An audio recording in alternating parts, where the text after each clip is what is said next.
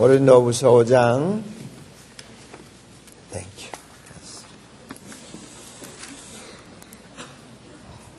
15절부터 17절까지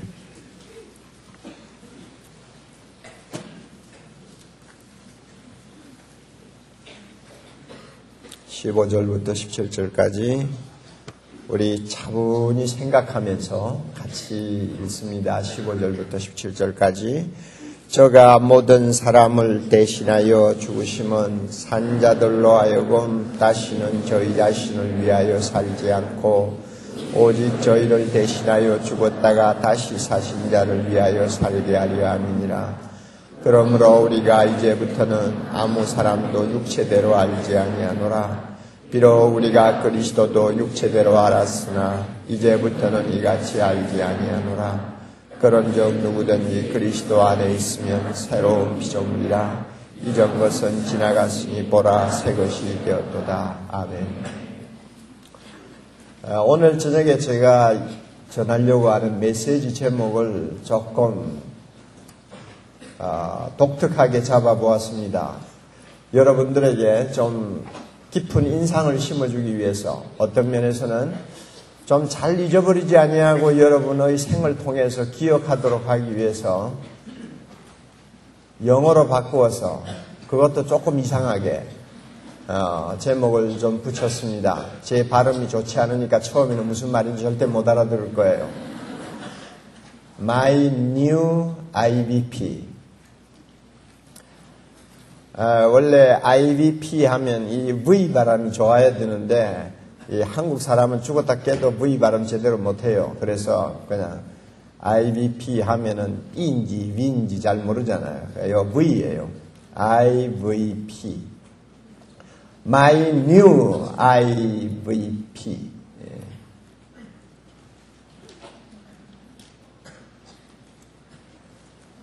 나의 새로운 I, 나의 새로운 나의 새로, 새로운 P에 대해서 오늘 저녁에 이 말씀을 근거해서 여러분들과 함께 생각하고 은혜를 나누려고 합니다. I는 identity. My new identity. 그 다음에 두 번째로는 my new vision. 세 번째로는 my new paradigm. 아마 이렇게 되면 아, 왜 IBP라고 했는지 금방 아실 거예요, 이제. 오늘 우리가 읽은 이 본문 말씀은 이렇게 나의 아이덴티티에 대해서, 나의 비전에 대해서, 나의 패러다임에 대해서 명확하게 가르쳐 주는 본문입니다. 이 본문 속에서 이 세 가지에 대한 정확한 해답을 우리는 얻을 수가 있습니다. 성령께서 여러분들의 마음을 좀 활짝 열어주셔서 뭐 재미있는 이야기 들으려고 하지 말고 조용히 생각하면서 여러분 마음속 깊은 곳에 하나님의 음성이 좀 들렸으면 좋겠습니다. 여러분이 어떤 아이덴티티를 발견하느냐에 따라서 여러분의 생이 결정돼요. 여러분의 비전이 무엇인가를 발견하는 데 따라서 여러분의 인생의 방향이 확정됩니다. 여러분의 패러다임이 어떻게 변하느냐에 따라서 여러분의 사람 냄냄과 여러분의 가치관이 달라져 버려요. 얼마나 중요한지 모릅니다. 여러분이 며칠 동안 이 자리에 와서 말씀을 배우면서 은혜 받는 이유도 사실은 이 세 가지에 대한 명확한 해답을 얻어서 돌아가기를 원하기 때문에 온 것이지, 뭐 여러분 잠깐 그냥 흥분하려고 온 것이 아니에요. 지금부터 20년 전, 1983년도입니다.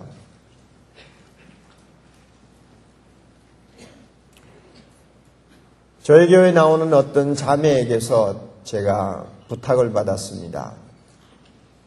그때는 우리 교회 사이즈가 약 한 400명 모였을 때입니다. 목사님, 우리 아버지가 지금 병원에서 어, 사형 선고를 받았어요.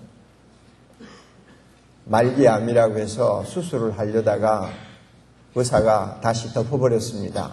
그리고 그저 한 두 달 내지 석 달 살면 오래 살 것이라고 하는데 목사님 죄송하지만은 우리 아버님 전도 좀 해주세요.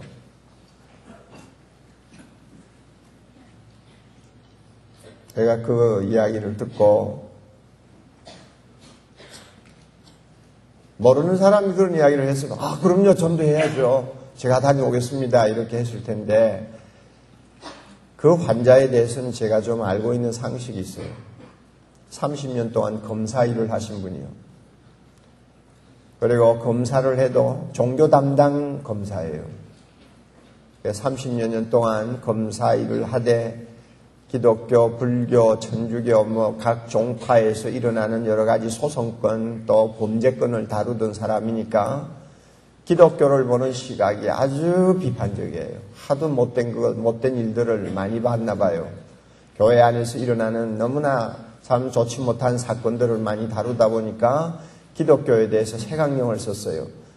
그래서 예수 믿는 사람들을 정상으로 생각하지 않았어요. 또 그의 집안은 철저한 불교 신앙, 불교 집안이었어요. 그러나 그 검사는 굉장히 청렴결백한 검사였습니다. 어떤 사람들하고도 뒷거래를 안 하는 검사. 누군가가 명절이라고 선물을 들고 오려고 하면은 한사코 거부하는 사람, 아니면 도망가는 사람. 그렇게 해서 청백리와 같이 참 정말로 양심을 가지고 이 땅에 법을 집행하려고 했던 훌륭한 검사였습니다. 그러나 신앙에 대해서만은 전혀 어떤 여지를 주지 않는 완고함을 가진 사람.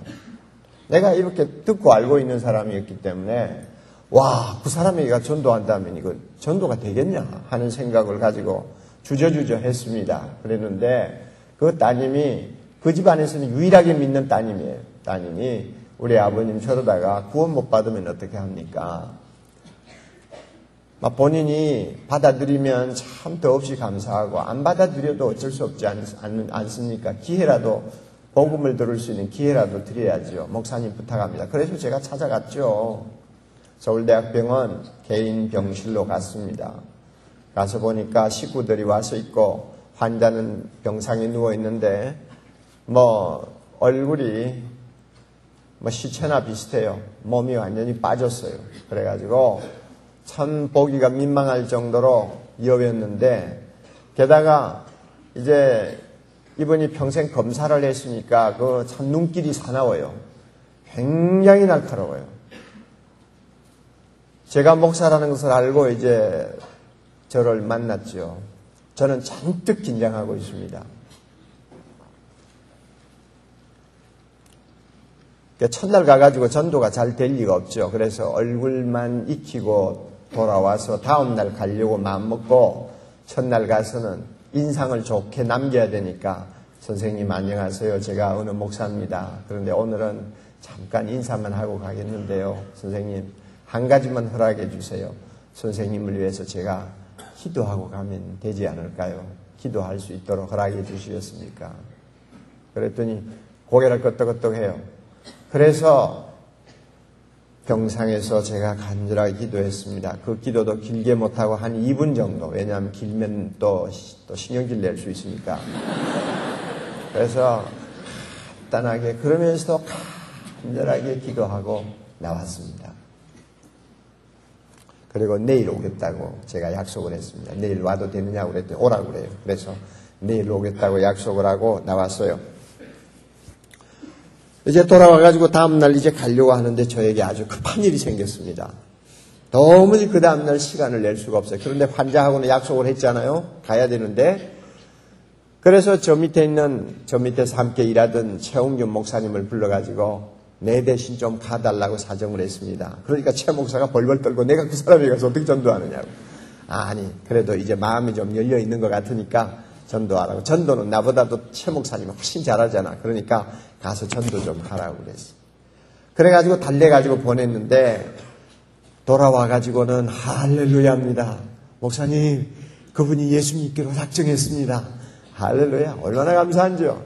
그런데 그 다음에 이야기가 저를 감동시켰습니다. 네, 어떻게 그렇게 쉽게 예수를 믿더냐? 제가 물었더니 목사님 제가 처음에 딱 갔는데요. 제가 소개를 했죠. 저는 사랑의 교회 부목사로 있는 최홍윤 목사입니다. 그랬더니 아, 이 검사 양반이 자기를 좀 일으켰, 앉혀달라고 그러더래요.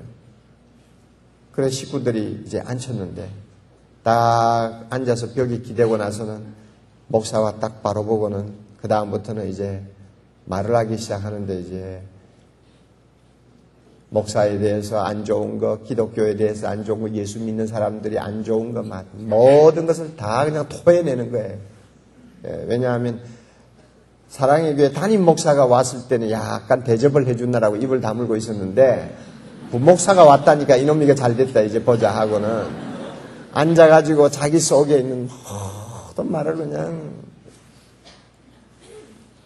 털어놓은 거예요. 그래가지고 그 최 목사님이 한마디 대답도 못하고 한 30분 그냥 죽으라고 앉아 들었대요. 그래 한 30분 떠드니까 환자가 힘이 빠질 것 아니에요. 할 이야기는 더 많겠, 많았겠지만 힘이 빠지니까 좀 조용해지더래요. 그래서 선생님 말씀 다 하셨습니까? 그랬더니 예, 다 했다고. 그러면 제가 이제 말씀을 드려도 좋겠습니까? 그랬더니 해보라. 그래서 그 시간에 성령께서 우리 최 목사님에게 참 펴도록 해준 본문이 바로 오늘 우리가 읽은 이 말씀이에요. 선생님 제가 읽어 드릴 테니까 좀 들어보세요. 그리고는 15절부터 17절까지 쭉 읽어 주었습니다. 그랬더니 그 다음에 놀라운 일이 일어났어요. 그 검사 양반이 그 성경 제가 직접 좀 보면, 보면 안 되겠습니까? 아이고, 얼마나 좋아요. 보세요.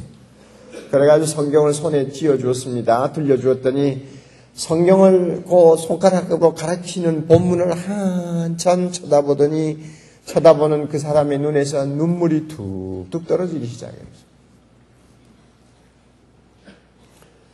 참 성령께서 역사하시면 이상한 일이 일어납니다. 그 사람이 무슨 뭐 성경 본문을 이해를 했겠어요. 뭐 특별히 그 본문에서 무슨 진리를 깨달은 것이 있었다고는 생각되지 않는데 무언가 와서 마음을 때린 거예요. 그 본문 가운데 어떤 부분이 그 사람의 눈을 열어놓은 거예요.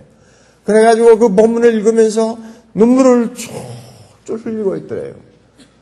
그래서 아 하나님께서 이 사람을 구원하시려고 마음의 눈을 열고 계시는구나 생각하고 최 목사님이 그 본문 한 구절 한 구절을 설명을 해드렸습니다.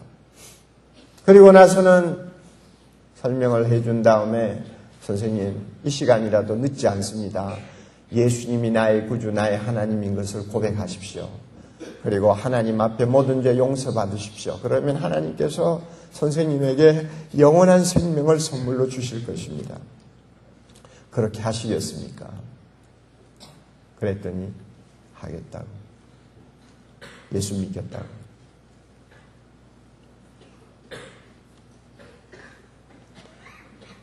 그때 그가 예수를 믿고 나서 순간적으로 새 사람이 되었어요. 병원에서는 집으로 내보냈습니다. 더 이상 병실에 있을 필요가 없으니까 집에 가서 쉬면서 그저 남은 여생을 보내라고 집으로 보냈어요. 집으로 보냈는데 집에 와가지고 그는 누워 있으면서 자기를 찾아오는 법조인들마다 예수 믿으라고 전도했습니다. 나는 너무 늦게 알고 너무 늦게 믿었는데 자네들은 그렇게 하지 말고 젊었을 때 예수 믿게 하고는 전도하다가 나중에는 힘이 빠져가지고 말을 할 수가 없으니까 큰 종이에다가 예수 믿으라고 하는 말을 써놓고는 사람들이 오면은 그 종이 쳐다보라고 손가락질로 종이 쳐다보라고 이렇게 하면서 전도를 했습니다. 그가 운명하기 한 2주 전에 저에게 전화를 해서 목사님 내가 세례를 받고 싶습니다. 그래서 제가 우리 최 목사님이랑 몇 분 교육자들과 함께 세례를 주기 위해 그를 찾아갔습니다. 그는 거의 음식을 먹지 않고 있었습니다. 죽을 시간만 기다리고 있는 사람이었어요. 세례를 주려고 하는데 목사님 저를 좀 앉혀 주십시오. 그래서 바짝 마른 그 몸을 벽에 기대어 앉혔더니 그가 하는 말이 목사님 제가 기도해도 되겠습니까? 예, 기도해 보세요. 그의 기도 내용이 이겁니다. 고린도후서 5장 15절부터 17절까지 읽은 본문 내용. 하나님 저는 너무 늦게 알았습니다. 젊었을 때, 힘이 넘칠 때, 꿈이 많을 때, 제가 이 말씀을 미리 알았더라면 내 인생 지금까지 이렇게 헛살지를 않았을 텐데, 제가 너무 이 말씀을 늦게 알았습니다. 하나님 용서해 주세요. 진실로 회개하오니 용서하시고 나를 구원해 주세요. 이 기도예요. 너무 늦게 알아서 후회하는 한 사람을 보았습니다. 그의 나이는 58이었습니다. 너무 늦게 알고 너무 늦게 발견했기 때문에 눈물로 후회하면서 참여하는 한 사람을 저는 알고 있습니다. 그 사람이 그렇게 눈물을 흘리면서 참여하는 모습이 저 마음속에 깊이 각인이 되었습니다. 그럴 수 있겠다. 비록 그 사람이 구원은 받았지만은 인생을 돌아보면 얼마나 후회스러울까. 20대에 이 말씀의 진리를 알았더라면 인생을 좀 다르게 살지 않았을까. 직업은 똑같은 직업이었다 할지라도 의미가 다른 의미가 다른 검사의 삶을 살지 않았을까? 그러나 너무나 늦게 알았기에 후회를 한들 지나간 세월 돌이킬 수가 없고 결국은 눈물로 인생을 마치는 후회하는 마음을 가지고 하나님 앞에 회개하면서 인생을 마치는 사람이 되어버리더라 하는 이야기입니다. 그런데 이와 같은 후회하는 인생을 마무리한 검사에 비해서 여러분들은 얼마나 복이 터진 사람들인지 모릅니다. 지금 아직 나이 20대 초반, 정말로 아직도 90년을 살 미래를 남겨놓고 있는 여러분들 아닙니까? 맞아요? 90년. 큰 소리 치지 마. 90년이라도 싹둑 잘라버리고, 그저 정말로 신나게 의미있게 뛸 수 있는 나는, 기간은 그저 내가 볼 때 한 40년이야. 40년 남겨놓고 지금 있잖아요. 이 40년을 놓고 우리가 이 말씀의 깊은 의미를 깨닫고 그렇구나 나의 아이덴티티가 무엇이구나 나의 비전은 이런 것이구나 나에게 있어서 패러다임은 이래야 되겠구나 하는 것을 여러분이 깨닫고 그 발견한 것을 붙들고 인생을 산다면 여러분을 통해서 놀라운 일이 일어납니다. 역사를 바꾸어 놓을 수 있습니다. 역사를 다시 쓸 수 있습니다. 한국의 모든 질병을 한국 사회 질병을 치유할 수 있습니다. 사회 각 분야마다 하나님의 나라가 임하게 하는 일에 여러분이 최선봉에 설 수 있습니다. 수많은 사람에게 소망을 줄 수 있습니다. 여러분, 여러분에게는 이와 같은 기회가 앞에 있어요. 이런 기회를 앞두고 여러분이 이런 말씀에 대해서 깊이 깨달을 수 있게 해주신 우리 하나님 앞에 찬양과 경배를 돌려야 되겠습니다.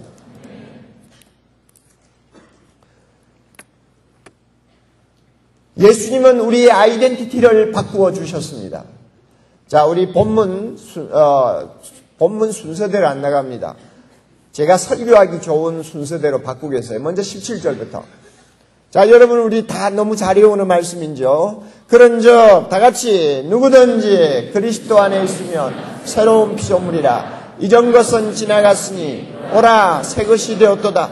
예수 그리스도는 우리를 새로운 피조물로 만들어 두어 주었습니다.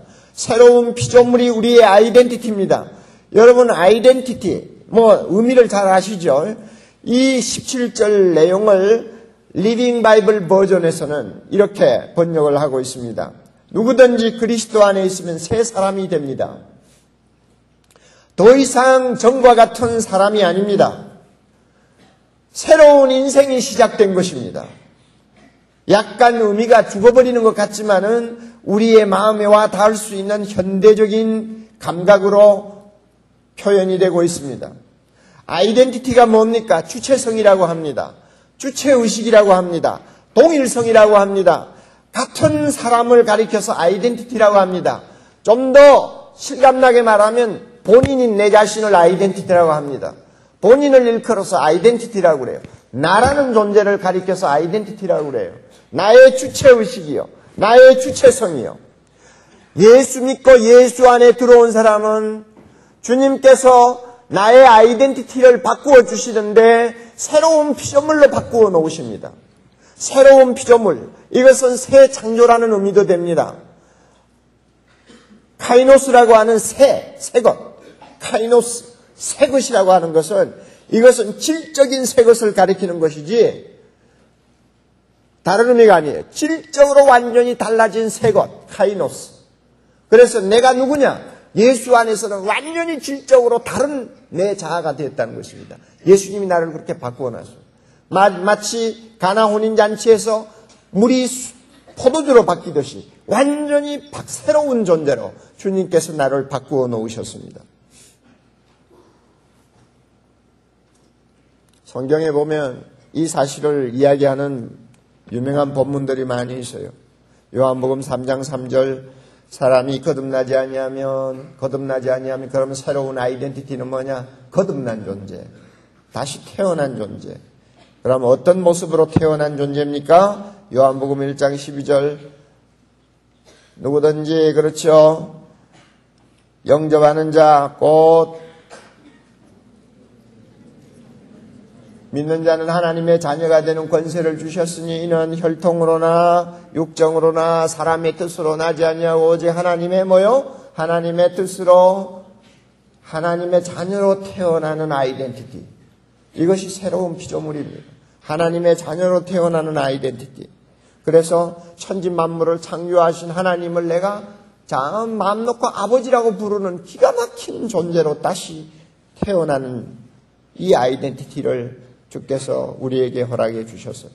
그래서 요한일서 3장 1절에는 이 사실이 너무나 감격스러워서 보라 아버지께서 어떠한 사랑을 우리에게 주사 하나님의 자녀라 일컬음을 받게 하셨는고? 보라 손가락을 가리키면서 이데티. 보라고 손일을 하면서 야 우리가 어떤 어떤 존재가 되었는가 하나님의 자녀가 되었는데 이것은 단순하게 된 것이 아니니라 하나님이 우리를 너무 사랑하셔서 우리가 하나님의 자녀가 되었노라. 이 이야기입니다. 엄청난 사건이 우리에게 일어난 것입니다. 그래서 하나님의 자녀가 되어 우리의 아이덴티티가 새로운 피조물로 바뀌고 나니까 거기에 뒤따라오는 많은 축복들이 있어요. 가장 큰 축복은 정죄를 당하지 않는다는 것이죠.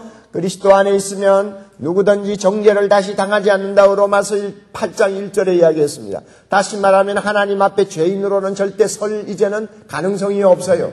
여러분 믿습니까? 우리가 주님 앞에 설 때 죄인으로 설 가능성은 101%도 없어요. 믿어요, 안 믿어요? 내가 지금 죄를 짓고 있어도 가능합니까?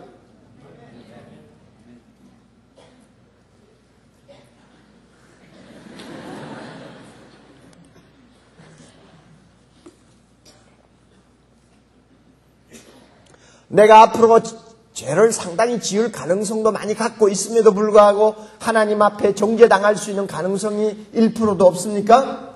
네. 밖에서 이런 소리 하면요, 뻔뻔스럽다고 그래요.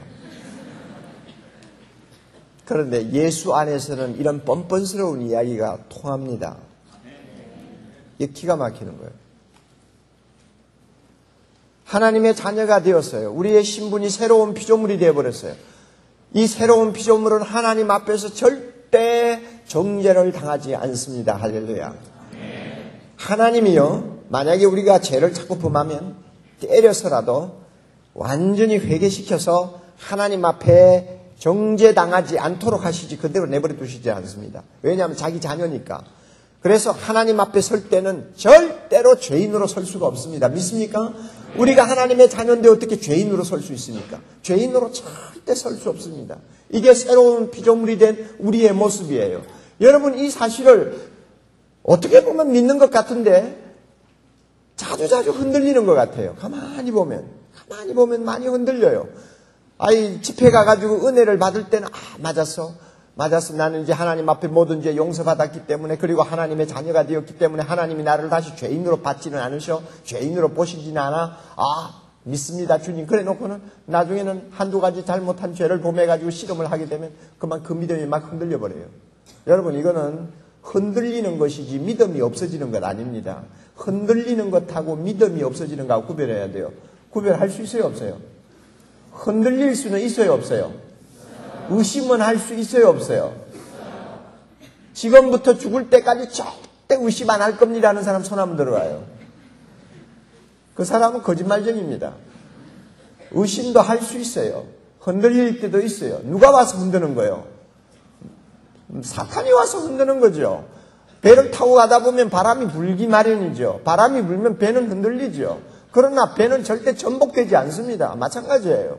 우리의 믿음이 한때는 든든해도 어떤 때는 흔들려요. 어떤 때는 막 심하게 요동해요. 그래서 의심이 생겨요. 그래도 조금 지나면 하나님의 은혜로 딱 바로 서요. 나는 그리스도 안에서 새로운 피조물이 됐습니다. 그러므로 하나님 앞에 절대 정죄당하지 않습니다. 믿어야 합니다. 이것이 우리를 똑바로 세워주는 거예요. 그뿐입니까, 여러분? 우리가 새로운 피조물이 된 다음에 우리는 그리스도와 함께하는 후사가 되었습니다. 다시 말하면 하나님께서 예수님에게 약속하신 하늘에 있는 모든 좋은 것들을 우리가 함께 누리도록 해 주셨어요. 우리 앞에는 엄청난 영광이 기다리고 있습니다. 진짜 좋은 날은 전부 우리 앞에 있습니다. 진짜 좋은 사건은 전부 우리 앞에 있습니다. 진짜 황홀한 일들은 우리 앞에 기다리고 있습니다.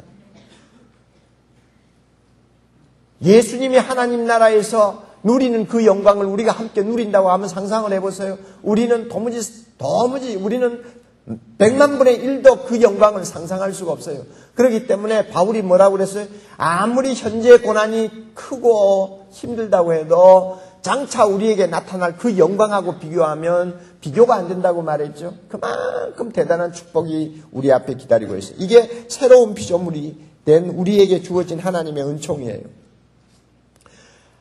이렇게 우리로 하여금 참 놀라운 피조물이 되도록 하기 위해서 하나님께서는 대단한 값을 지불하셨습니다. 여러분 5장 21절 다 같이 읽습니다.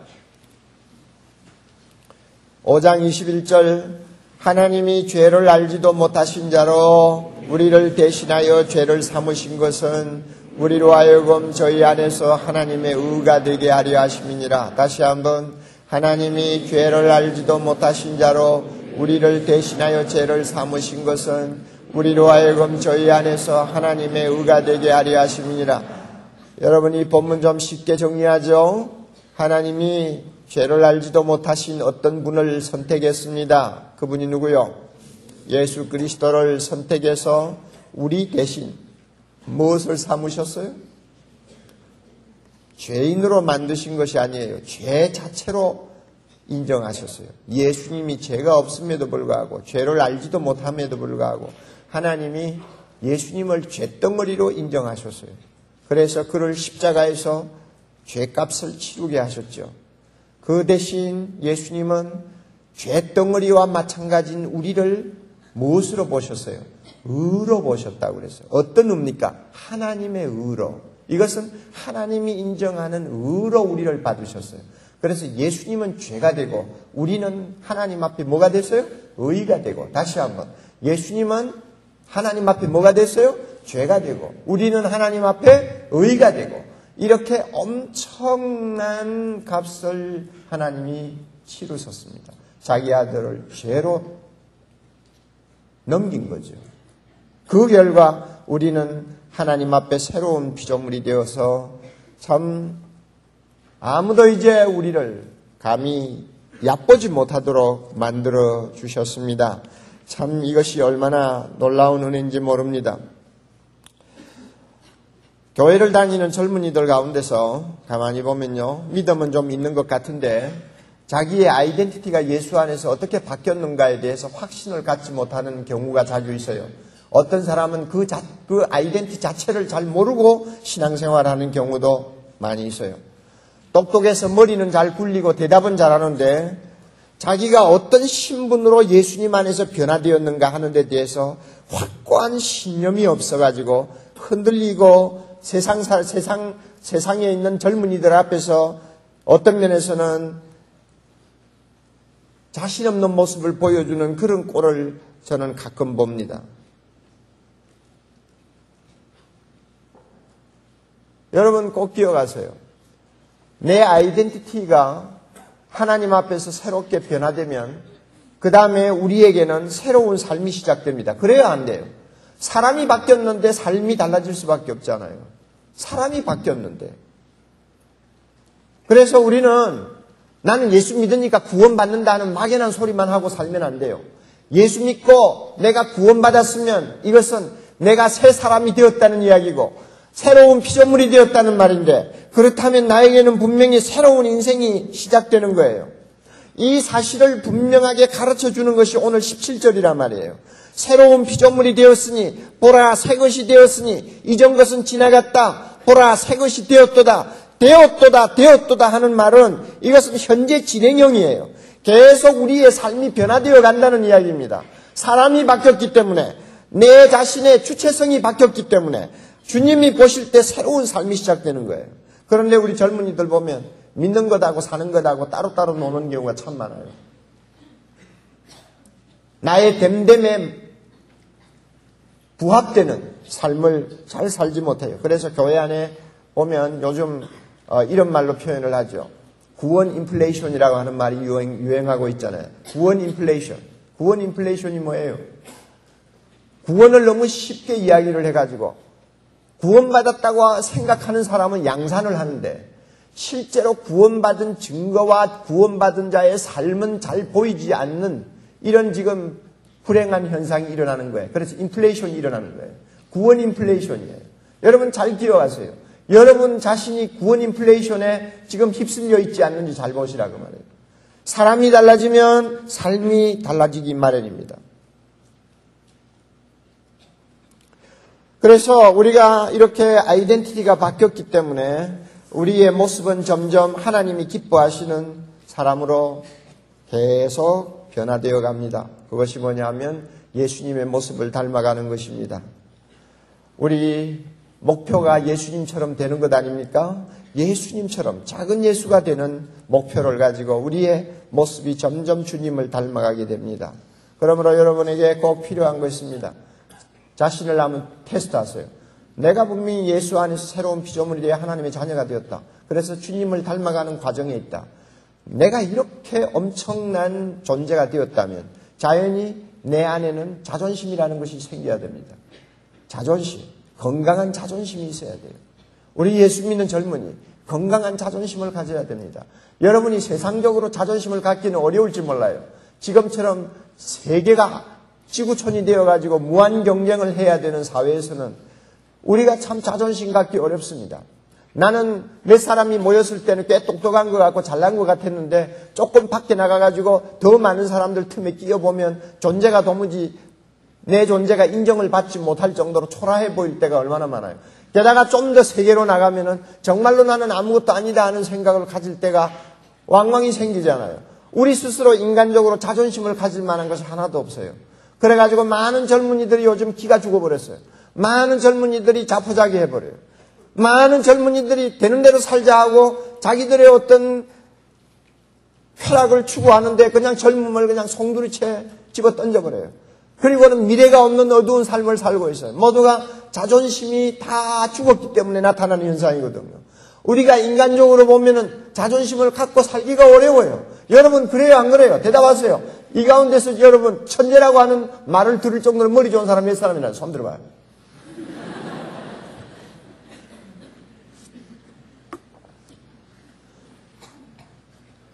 이 가운데서 진짜 재벌집에서 태어났다는 사람 손 한번 들어요. 몇 사람이에요? 자, 이 가운데서 자, 정말 어디 갖다 내놔도 뒤떨어지지 않냐는 미모를 갖고 있다고 하는 사람 손 한번 들어요.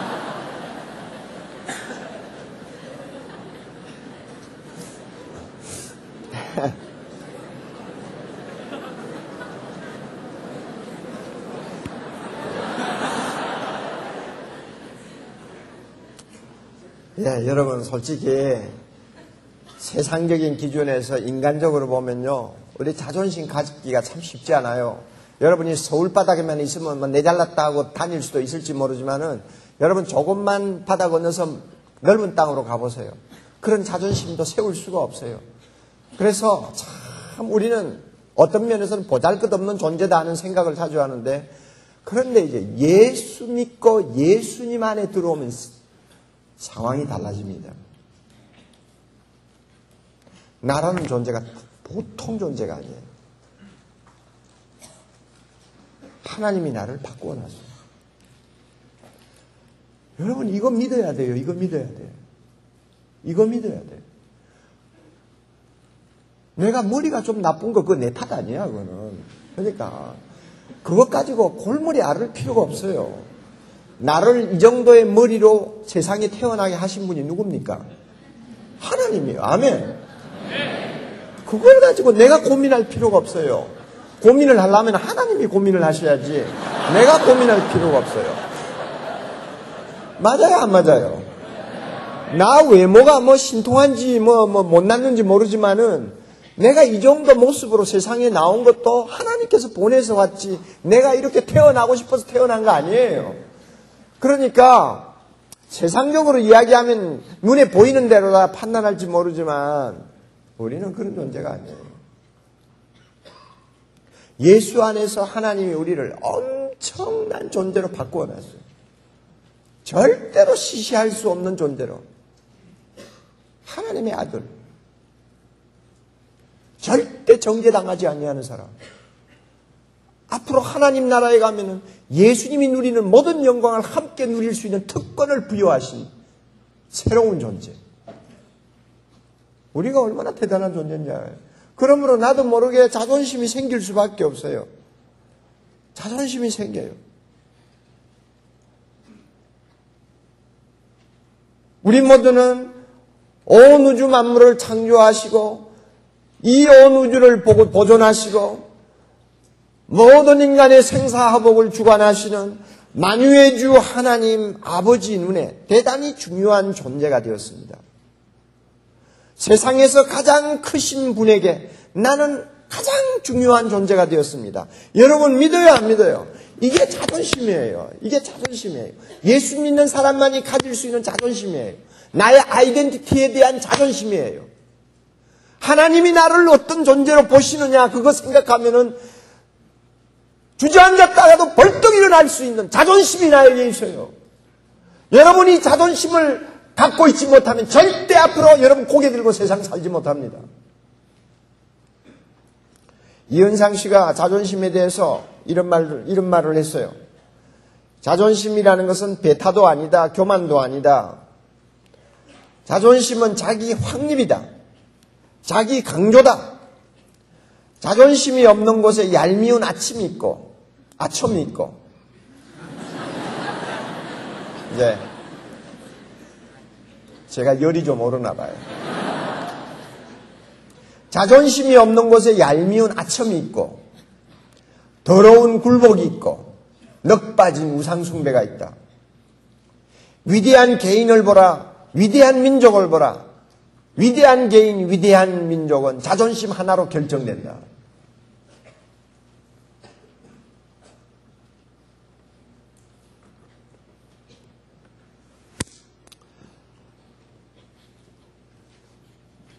저는 여러분들이 그리스도 안에서 발견한 새로운 아이덴티 때문에, 아이덴티티 때문에 정말 어디 가도 꿀리지 아니하고 작아지지 아니하고 고개 숙이지 아니하는 자존심만 가진다면 하나님께서 여러분을 통해서 앞으로 세계를 뒤집어 놓을 거라고 저는 믿어요. 그러나 하나님 앞에서 새로 발견한 나의 아이덴티티가 나에게 뭐 그 어떤 사람 앞에서도 꿀리지 아니할 만한 자존심을 세워주지 못한다면 여러분은 예수 믿고 구원은 받을지 모르지만은 이 세상에서 하나님이 원하는 사람은 되기가 어려울 거예요. 사도행전 26장에 가면 29절이죠. 사도 바울에게 있어서 가장 가장 위대한 장면이라고 흔히 말하는 하나의 극적인 현장이 나와요. 지금 사도 바울은 죄수입니다. 지금 재판을 받는 중인데 자기 앞에는 아그리빠 왕하고 버니게라고 하는 두 사람이 앉아 있어요. 아그리빠 왕은 나이가 20대 초반에 지나지 아니하는 새파란 왕입니다. 그리고 자기 왕권, 자기 왕위를 누구든지 넘, 넘보, 넘보는 것 같다고 하는 의심이 가는 사람은 주체하지 아니하고 죽이고 없애는 아주 잔인한 젊은이에요. 그리고 버니게라고 하는 사람은 아그리빠 왕의 누나예요. 누나인데 몇 번 시집 가가지고 실패하고 지금은 동생 집에 와가지고 붙어 있어요. 그러면서도 왕비처럼 행세하는 거예요. 그래가지고 이상한 소문들도 많이 나, 나 있었어요. 나중에는 로마 황제에게 아첨을 해가지고 정부로 들어간 정, 정부로 들어간 여자예요. 그러니까 세상적으로 볼 때는 두 사람이 화려하죠. 하나 왕이요, 하나는 왕비처럼 해가지고 앉아서 앞에 있는 사도 바울을 쳐다볼 때는 얼마나 불쌍하게 보였겠어요. 쇠고랑을 차고 지금 재판을 받고 있는데, 예?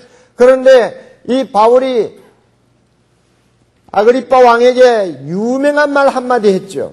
아그리빠 왕이 너 몇 마디 가지고 나를 그리스도인으로 만들려고 하는구나. 그러면 그리스도인이라는 말은 얕보는 말로 하는 말이거든요. 비웃는 말이거든요. 너 몇 마디 해가지고 나를 뭐 예수쟁이 만들려고 하냐? 이런 식으로 말을 하니까 바울이 뭐라고 그랬어요?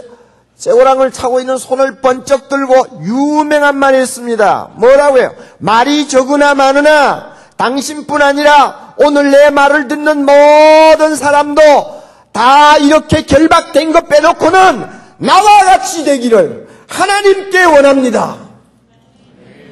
내가 결박당하고 있다는 이것 빼놓고는 당신이나 나나 모두가 다 나와 같이 되기를 원합니다. 아, 이, 여러분, 사도 바울의 자존심 대단하죠.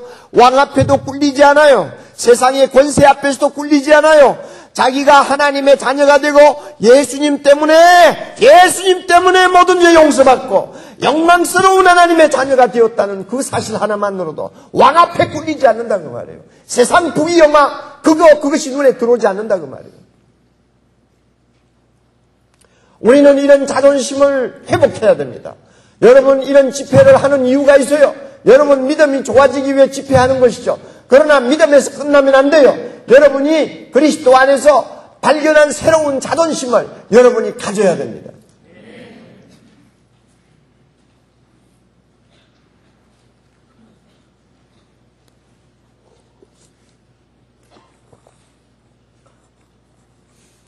저는요, 젊었을 때, 여러분 나이 때에 저에게 뭐 이렇게 아이덴티티가 어떻고 자존심이 어떻고 하는 거 가르쳐 준 사람 하나도 없었어요. 맨날 교회 가면 막 회개하라고만 떠들죠.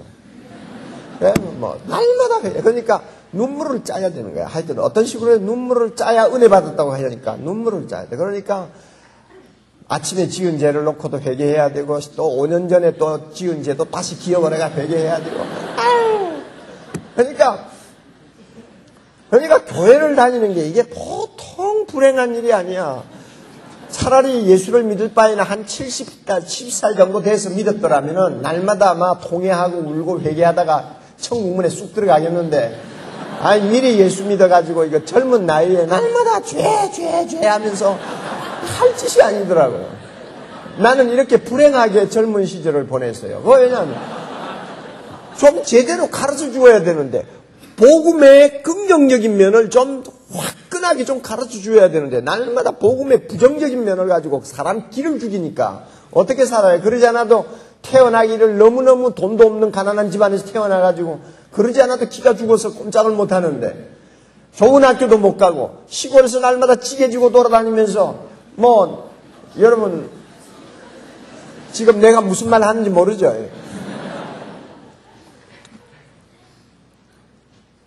지금부터 여러분 50년, 50년, 뭐 55년 전 여러분 상상을 해보세요. 여러분은 정말 상상 못할 거예요.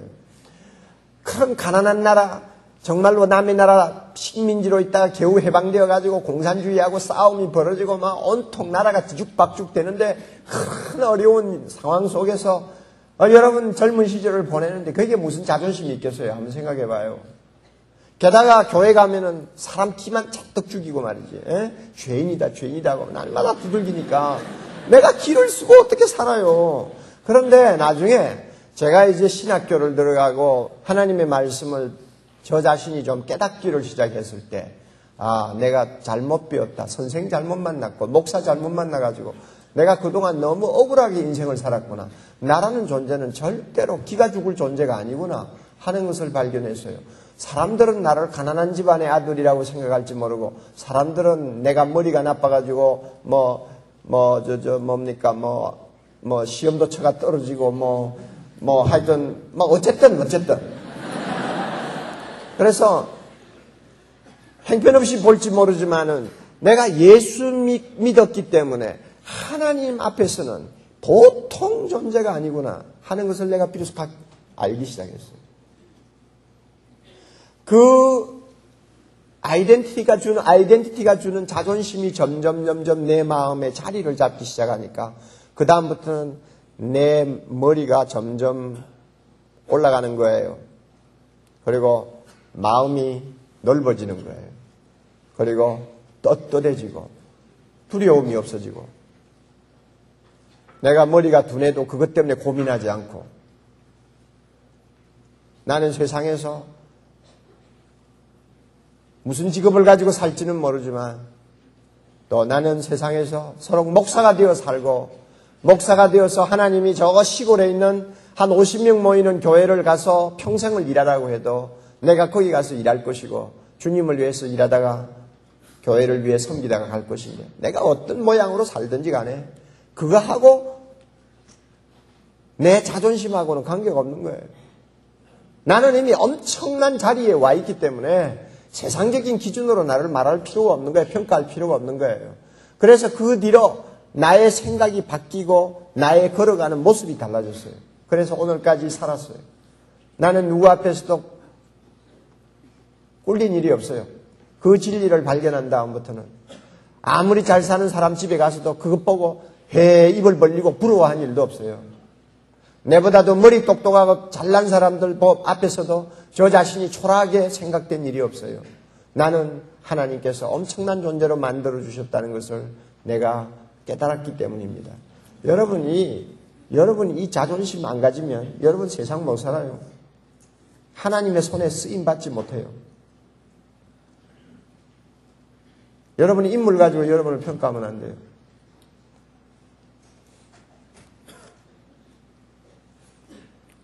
이 아이덴티티와 비교해가지고 이제 우리가 생각해야 될 것이 뭐냐 하면 패러다임입니다. 주님께서 우리에게 참 새로운 패러다임을 열어주셨어요. 이 패러다임을 이야기하는 구절이 어디냐 하면은 16절. 여러분 잘 읽어보세요. 16절을 잘 읽어보세요. 여러분이 얼마만큼 의미가 분명하게 전달이 되는지 한번 보세요. 그러므로 우리가 이제부터는 이제 예수 안에서 새로운 피조물이 된 지금부터는 아무 사람도 그 다음에 중요한 말로 육체대로 뭐요 알지 아니하노라. 육체대로 알지 아니하노라.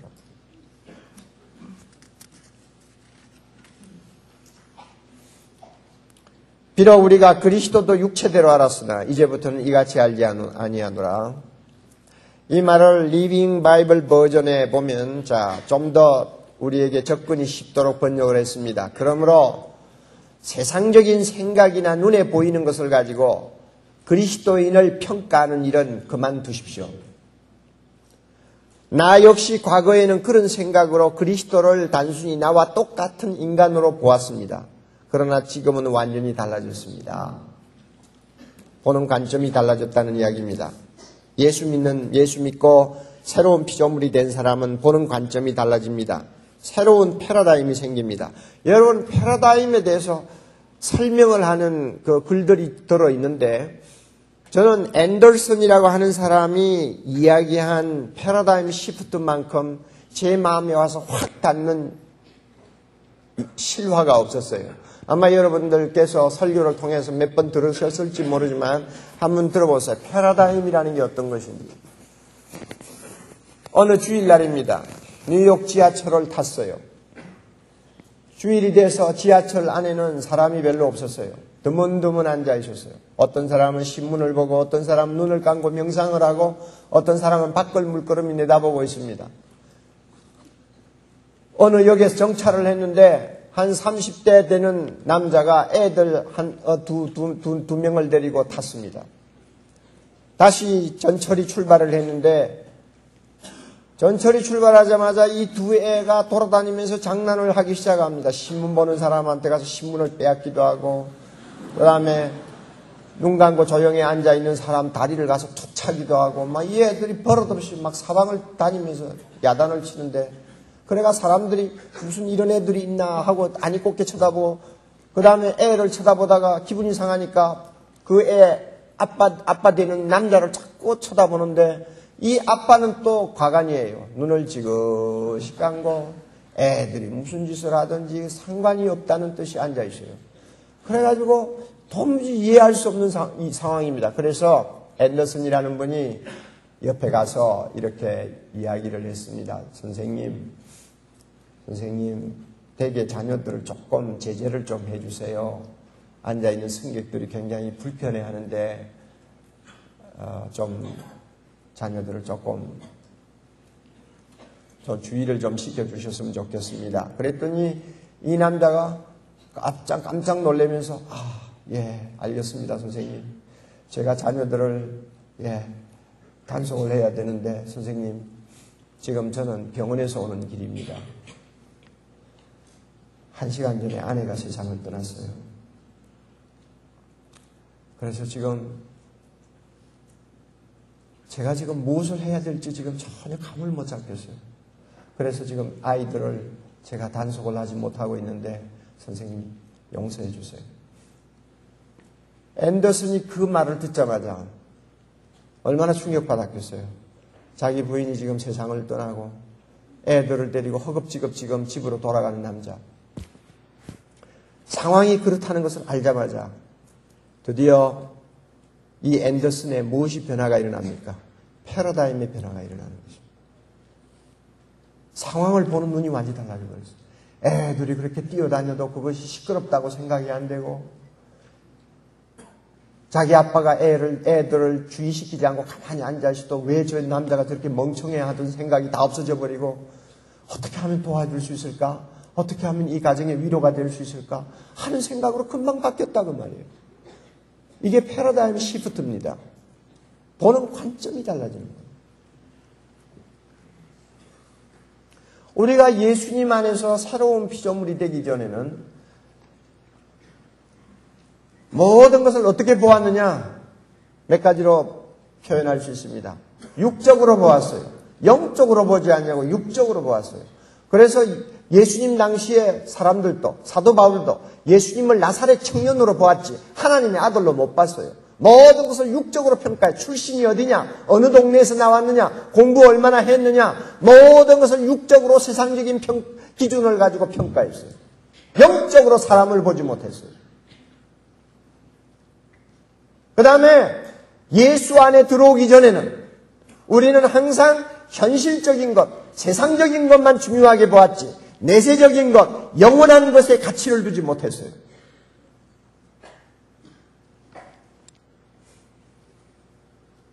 그리고 우리가 예수 안에서 새로운 피조물이 되기 전에는 할 수 있으면 하나님을 추방하고 하나님 없는 것이 자유라고 생각을 했지. 하나님을 모시고 하나님께 순종하는 것이 자유라는 것을 생각하지 못했어요.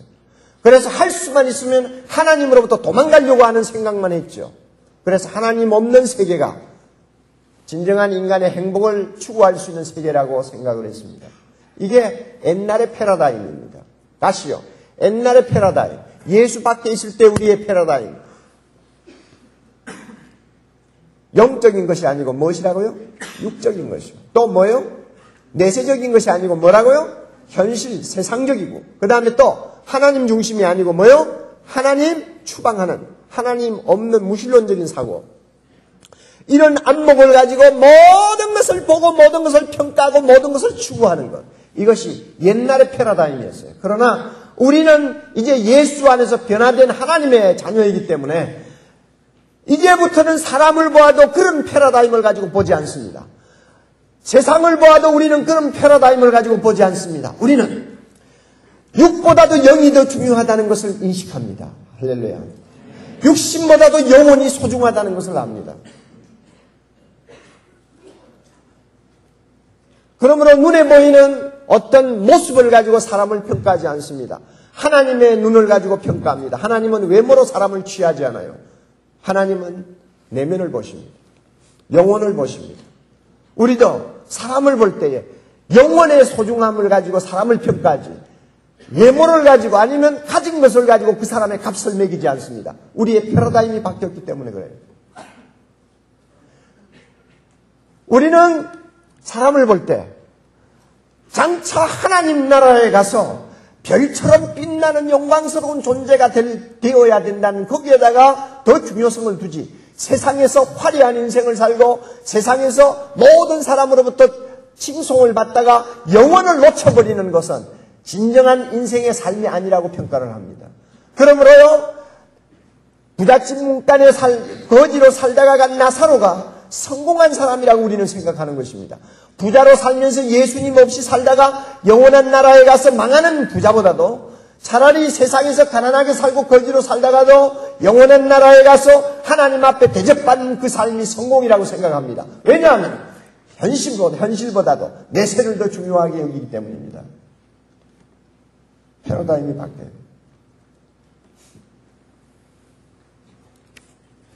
우리는 하나님 없이 내 스스로 어떤 자유를 누리는, 육적인 자유를 누리는 그런 삶보다도 하나님을 모시고 순종하는 삶이 진정한 의미를 가진 삶이라는 것을 인정을 합니다.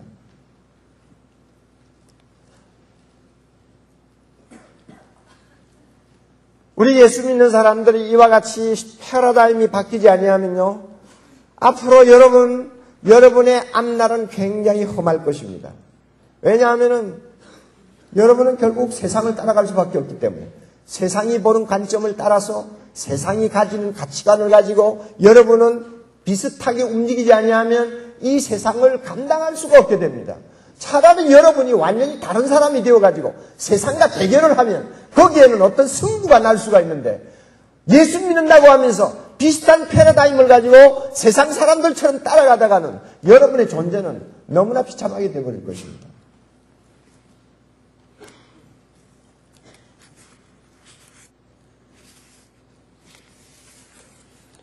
요사이 세상에 나가면 여러분 이미 캠퍼스 가면 많이 느끼겠지만은 포스트 모더니즘의 특징이라고 할까요? 뉴에이지 운동의 특징이라고 할까요? 보세요. 그 사람들의 패러다임은 항상 자기 중심이에요. 하나님 중심이 아니에요. 나는 할 수 있어. 해가지고 자꾸 자기의 어떤 자신감을 고치시키는 거. 나는 나야. 나는 나로서 충분해. 항상 자기 중심이에요. 이런 구호를 주술처럼 외우게 만들죠. 그러다가 미국의 어떤 프로그램 같은 거 보면 나는 곧 나야. 나는 곧 나야. 이건 누구 이야기입니까, 지금? 나는 나다. 누가 하는 이야기예요? 하나님이 자기 이름을 일컬어서 여호와라고 할 때 그런 이름을 쓰죠. 나는 나야. 이거 하나님의 하나님이 자기를 일컬어서 하시는 말씀인데 사람들이 나는 나다. 그렇게 해가지고 결국 그 의식이 나도 신이다 하는 동방 종교의 영향을 받아서 모든 사람이 마치 자기가 신인 것처럼 하나님인 것처럼 자기 자신을 신격화시키는 오늘 상황이 바로 우리 주변에서 벌어지고 있는 것입니다. 그래서 할 수 있으면 하나님을 추방하고 하나님이 없는 곳에서 자기가 하나님이 되어 자기 마음대로 인생을 살 수 있다면 그것이 사람이 살아야 될 가장 현명한 길이라고 그들은 판단합니다. 우리의 사고방식이 점점 이렇게 무신론적으로 바뀌고 세상적으로 바뀌고 육적으로 바뀝니다. 여러분, 제가 여러분 나이 때만 해도 세상이 이루지를 않았어요. 여러분은 지금 너무 불행한 상황에 빠져 있어요.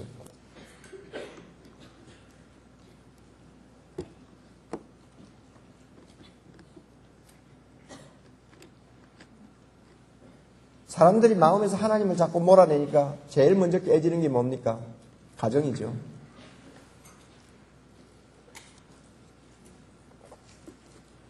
가정이 완전히 깨지잖아요, 지금.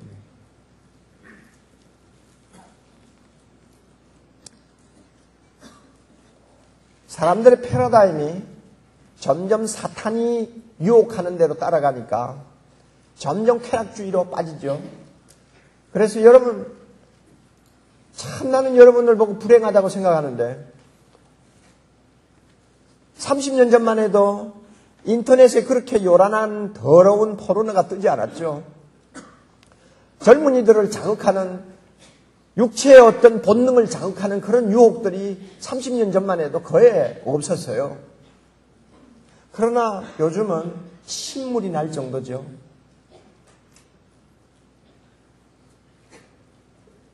(30년) 전만 해도 돈이 없어도 사람들은 자존심을 지킬 수 있었어요.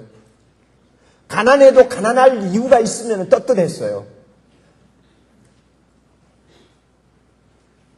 그러나 지금은 돈 못 벌면 바보로 스스로 자기를 정죄하고 있어요. 수단 방법 가리지 말고 어떻게 하든지 모으는 자가 승자라고 생각을 합니다. 물질주의에 완전히 노예가 되어버렸어요. 여러분, 이런 상황을 여러분이 가만히 보세요. 왜 이렇게 되어 갑니까? 점점 사람들은 육적이요, 현실주의요, 무신론적이요, 이런 패러다임을 가지고 세상을 논하기 때문에 세상은 점점 지옥처럼 변해가고 사람은 점점 사탄처럼 변해갑니다. 마귀처럼 변해가요. 자, 이런 상황에 여러분이 지금 있습니다. 이런 절망적인 지옥 같은 세상을 누가 바꿀 수 있습니까? 완전히 다른 자가 바꿉니다. 비슷한 사람은 못 바꿉니다. 같은 사람도 못 바꿉니다. 제 말 이해해요, 안 해요?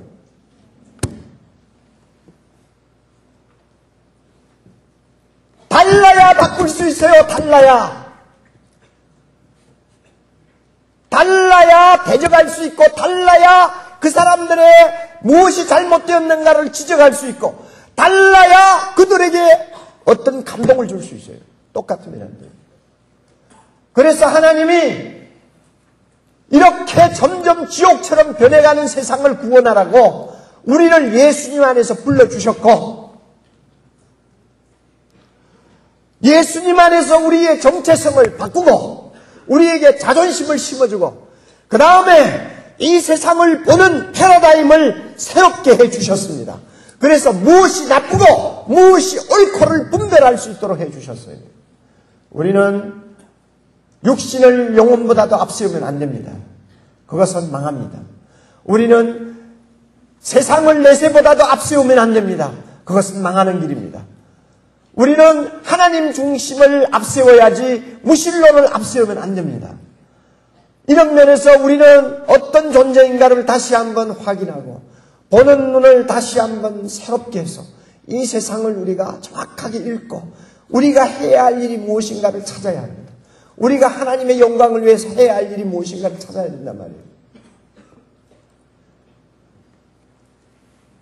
여기에 모인 1500명 여러분들만이라도 새로운 패러다임을 가지고 사람들을 감동시키고 여러분이 갖고 있는 그 아름다운 신념을 가지고 사람들에게 소망을 줄 수 있다면 파괴되어가는 이 한국 가정이 치유받을 수 있습니다. 캠퍼스가 치유받을 수 있습니다. 젊은이들이 쾌락주의에서 구원받을 수 있습니다. 많은 젊은이들이 죄인 줄 모르고 죄 속에 빠져들어가는 저 불행한 삶을 종식시킬 수 있습니다. 바로 여러분 할 수 있어요.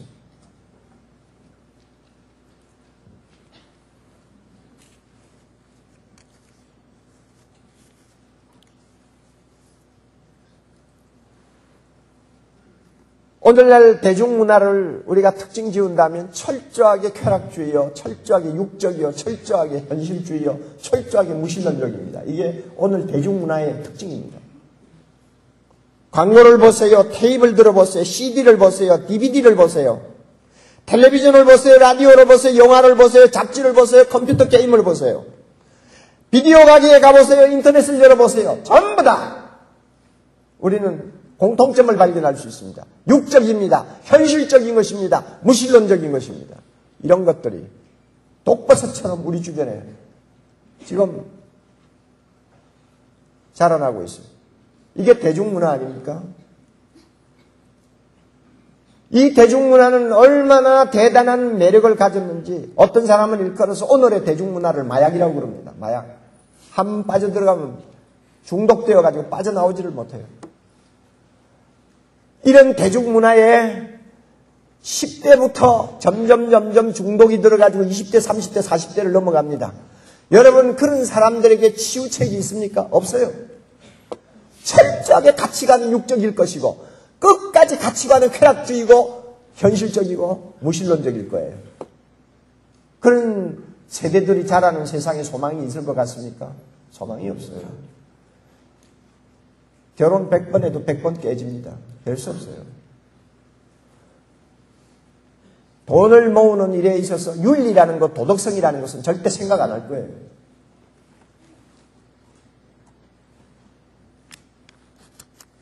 무서운 사람들이 이 세상을 지배할 것입니다.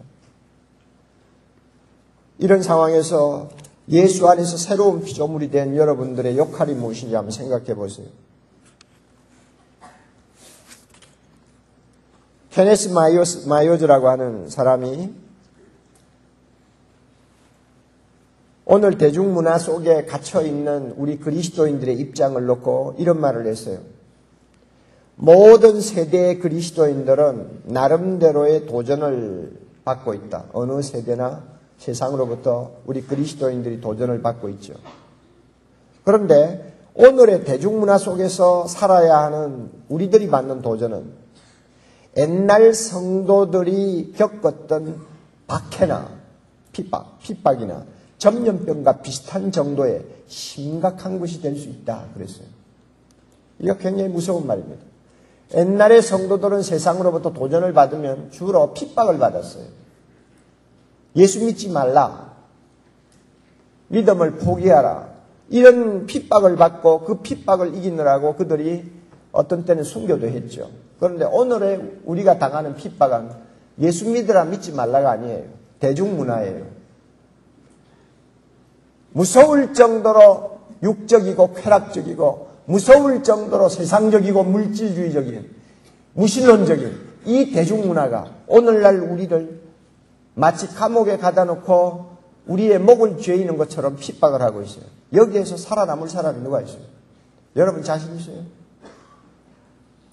여기에서 살아남아서 여러분의 믿음을 지킬 자신 있어요? 여러분의 신분을 지킬 자신 있어요?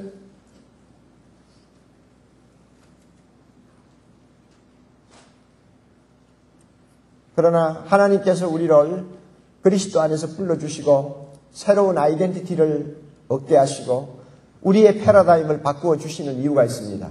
우리만이 소망이기 때문입니다. 믿습니까? 내게 능력 주시는 이 안에서 내가 모든 것을 할 수 있느니라. 예수 그리스도 안에 있으면 우리를 통해서 하나님은 놀라운 기적을 일으키신다고 믿습니다. 이 세상을 바꿀 수 있습니다. 치유할 수 있습니다. 하나님이 없는 사람에게 하나님을 보여줄 수 있습니다. 육적인 쾌락에 젖어 있는 자들에게 그것이 인생의 금, 어, 인생의 진정한 가치가 가치가 아니며 삶의 의미가 아니라는 것을 그들에게 보여줄 수 있습니다. 그 일을 누가 할 거예요? 우리가 해야 합니다. 여러분이 해야 됩니다. 그러기 위해서 여러분의 패러다임이 건전한지 다시 점검하세요. 여러분의 패러다임이 정말로 건전한지, 정말로 육신보다도 영을 더 중요하게 여깁니까? 모든 것을 육적으로 평가하지 아니하는 눈을 갖고 있습니까? 여러분 현실보다도 내세를 더 우선해 두고 있습니까? 여러분, 여러분은 정말 하나님 아니면 죽는다는 의식을 갖고 있습니까? 그래서 모든 삶을 하나님 중심으로 봅니까? 이런 패러다임이 있으면 하나님께서 여러분을 사랑하실 것이고, 여러분을 귀하게 사용하실 것이고, 여러분을 통해서 하나님이 이루고자 하시는 큰 뜻을 이 땅에 펼치실 것입니다. 그러므로 우리는 달라야 합니다. 보는 것이 달라야 합니다. 관점이 달라야 합니다. 똑같으면 망합니다. 나중에 우리 똑같이 망해요. 달라야 합니다. 이런 새로운 패러다임을 이번 기회를 통해서 하나님께서 주시도록 우리 간절하게 기도해야 되겠습니다. 끝으로 한 가지 더 하나님께서 우리에게 새로운 비전을 주셨어요.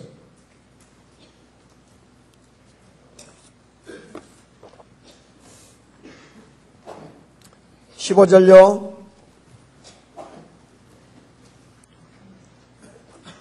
저가 예수님입니다. 예수님께서 모든 사람을 대신하여 죽으시면 예수님께서 우리 한 사람 한 사람을 위하여 대신해서 죽으시면 산자들로 하여금 살아있는 우리들로 하여금 다시는 우리 자신을 위해서 살지 않고 오직 우리를 대신하여 죽었다가 다시 사신 누굽니까? 예수님을 위하여 살게 하려 하십니다. 인생의 목적이 달라지게 되었죠. 예수 그리스도는 우리의 인생 목표를 바꾸어 놨습니다. 다시 말하면 새로운 비전을 주셨어요. 그것을 간단하게 요약하면 나를 위한 생에서, 어, 인생에서 예수 그리스도를 위한 인생을 살도록 바꾸어 놨습니다.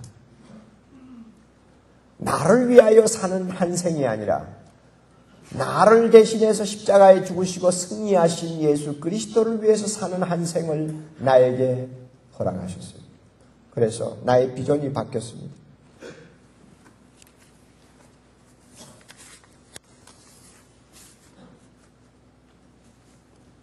우리는 죄로부터 구원을 받았습니다. 그러므로 이제는 우리를 구원하신 주님을 위해서 사는 삶을 우리는 추구해야 합니다. 하나님께서 우리에게 그러한 삶을 허락하셨습니다. 우리는 예수 믿고 나서 교회 안에서만 뱅글뱅글 돌면 안 돼요. 교회 안에서 큐티 잘하고, 교회 안에서 성경 많이 배우고, 교회 안에서 아름다운 교제를 나누고, 두 손 들고 찬양하고, 감격하고, 거기서 맴돌면 안 돼요. 교회 안에서 우리는 이렇게 해서 은혜를 받고 주님과 아름다운 교제를 통해서 우리의 영혼이 건강해진 다음에는 내가 주님을 위해서 무엇을 해야 되며 어떻게 살아야 할 것인가를 찾아서 세상으로 나가야 합니다. 왜냐하면 우리에게 하나님이 원하시는 일이 있기 때문입니다. 가정으로 돌아가야 합니다. 교육, 교육 현장으로 가야 합니다. 공동체 사회생활을 해야 합니다. 직장도 우리는 가져야 됩니다. 정치와 정치에도 관여하고 법에도 관여하고 과학에도 관여하고 예술에도 관여하고 우리가 들어갈 수 있는 모든 영역에 들어가서 나를 대신해서 죽었다가 살아나신 예수님이 영광을 받으시도록 하기 위해서 내가 그곳에서 무엇을 하며 인생을 보낼 것인가를 우리는 분명히 찾아서 확인해야 됩니다. 왜? 하나님께서 우리에게 비전을 주셨기 때문입니다. 하나님의 영광을 위해서 살 수 있는 비전을 허락해 주셨기 때문입니다. 이런 의미에서 예수 믿는 사람에게는 거룩한 것과 세속적인 것의 차이가 없어졌습니다.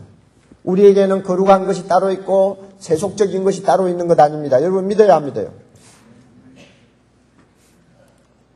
정말로 믿습니까, 여러분? 그래요? 믿어요? 로마서 14장 7절 보면 우리 중에 누구든지 자기를 위하여 사는 자가 없고 자기를 위하여 죽는 자도 없도다. 우리가 사나 죽으나 다 살아도 주를 위하여 살고 죽어도 주를 위하여 죽나니 우리가 사나 죽으나 누구의 것이라? 주의 것이라. 그러므로 우리를 대신하여 죽었다가 다시 사신 예수님.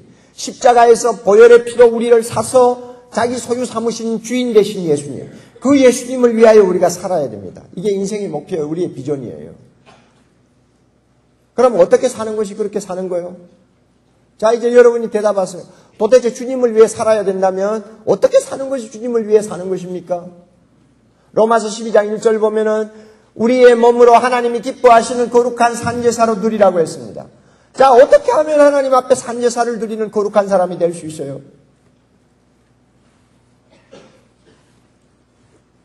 다 아는 것 같아도요. 교회 다니는 젊은이들 중에 모르는 사람 너무 많아요. 주님을 위해서 산다는 것이 어떤 것인지 정확하게 자기 자신이 스스로 정의를 못 내려요. 구체적으로 주님을 위해서 사는 것이 무엇이라는 것을 확실하게 손가락질을 하면서 가르치, 가르치지를 못해요. 멍멍해요. 어리벙벙해요. 왔다 갔다 해요.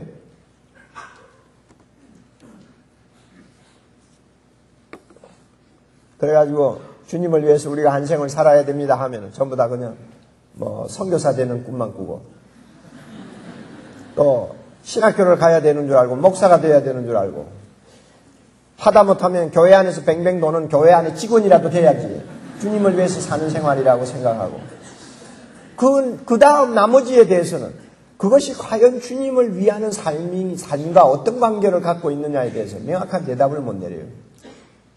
이것은 여러분의 책임이 아니에요. 교회 책임이에요. 교회가 정확하게 가르쳐 주지를 못해서 그래요.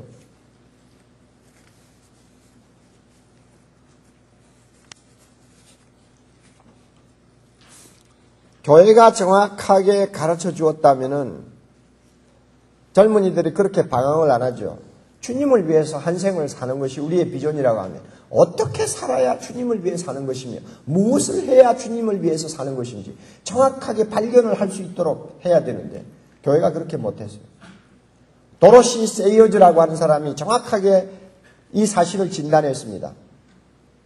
교회가 현실에 대한 지배력을 상실한 일 가운데서 세속적인 직업을 이해하고 존중하는 일에 실패한 것보다 더한 실패는 없다. 다시 한번 읽어볼게요. 교회가 현실에 대한 지배력, 교회로서 현실을 주도해야 되는 지배력을 가지고 있어야 되는데 그 지배력을 많이 잊어버렸어요. 많이 잃었어요. 그 가운데서 특별히 실패한 것이 있는데 그것이 뭐냐 하면 세속적인 직업을 이해하고 존중할 수 있도록 하는 일에 실패했다고 말입니다.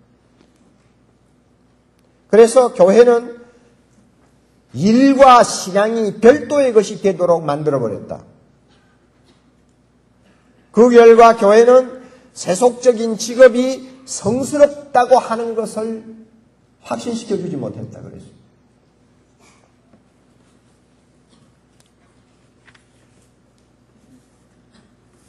그래서 전부 우리가 주님을 위해서 살아야 합니다. 우리의 인생은 오직 한 번뿐입니다.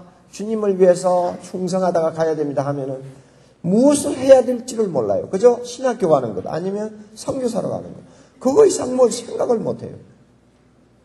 아마 여러분 가운데도 아마 꽤 그런 사람이 있을 거예요. 오늘 여러분 똑똑히 좀 배우세요.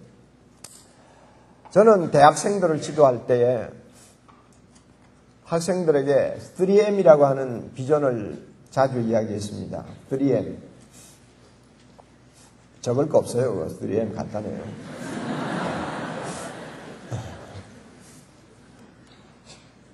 제가 좀 말이 이상하고 콧소리가 나고 해도 양해하세요. 저, 예. 어, 3M이 뭐냐 하면은 Campus ministry. 그러니까 대학생들이니까 우선 학원에 돌아가서 안 믿는 사람에게 복음 전해야 되고 그들에게 예수 믿는 사람이 무엇이 어떤 사람인가를 보여줘야 되잖아요. 우리가 얼마나 다른 참 특별한 존재라는 것을 그들이 알도록 해야 되잖아요. 그게 campus ministry예요. 그래서 처음에 ministry고 그 다음에 두 번째 business ministry예요. 다 대학을 졸업하고 나면 직장 생활해야 되고 뭐 자기 생업을 가져야 되잖아요. 그게 business ministry고 그 다음에 끝으로 world mission. 결국 우리의 삶 전체를 통해서 하나님의 나라가 이 땅에 임하도록 하는 일이니까 그게 world mission이죠. 그래가지고 campus ministry, business ministry, world mission 이걸, 따가지고 3M이라고 해가지고 학생들에게 계속 이야기를 했는데요. 5년 동안 학생들을 그렇게 가르쳤는데 그럼에도 불구하고 그게 마음에 확 와서 닿지를 않는가 봐. 주님을 위해서 산다는 것은 적어도 성직자가 되어야지 주님을 위해서 산다는 말을 하지 세상 직업을 가지고는 주님을 위해서 산다는 말을 하기가 어렵다 하는 인식이 확 박혀 있는 것 같아요, 아이들에게. 어, 그 당시는 아이들이에요. 지금은 어른이지만. 그러니까 한 번은, 그,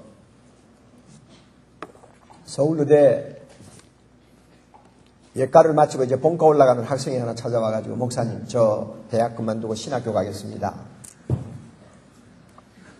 그래가지고 저하고 상담하겠대요.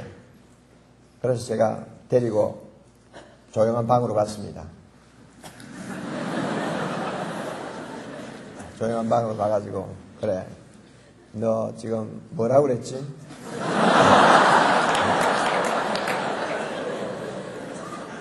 뭐라고 그랬지? 그랬더니, 목사님, 아, 제가 뭐, 이 뭐, 의과대학 다녀봐야 뭐, 빤하지 않습니까? 내가 주님을 위해서 그래도 좀, 어, 제대로 살려면 아무래도 신학을 공부해서 목사가 되어야 될 것 같아서요. 그래서 대학 그만두고 신학대학으로 옮겨서 어, 신학을 하고 싶다고 했습니다. 그래서 제가 가만히 그 친구 얼굴을 쳐다봤어요.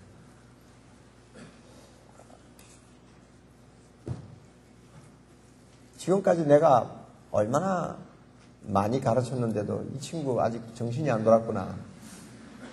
그게 진짜 목사가 될 사람은 틀려요. 목사가 될 사람은 달라요. 그런데 이 친구는 그게 아니야, 인상이.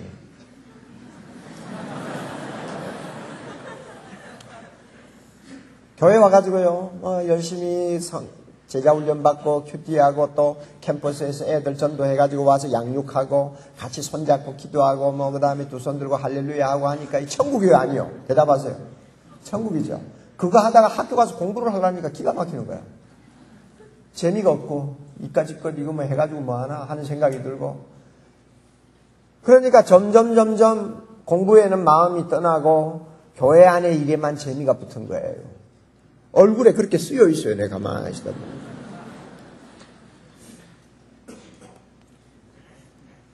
그래서 제가 그랬죠. 너 공부하기 싫지?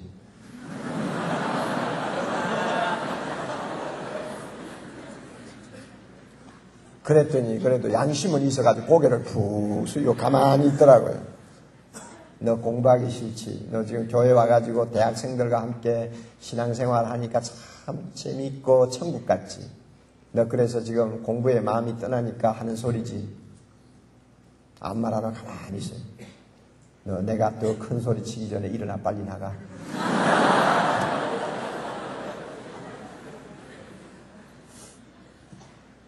그 학생 그래서 다시 이제 학교 공부 열심히 했습니다.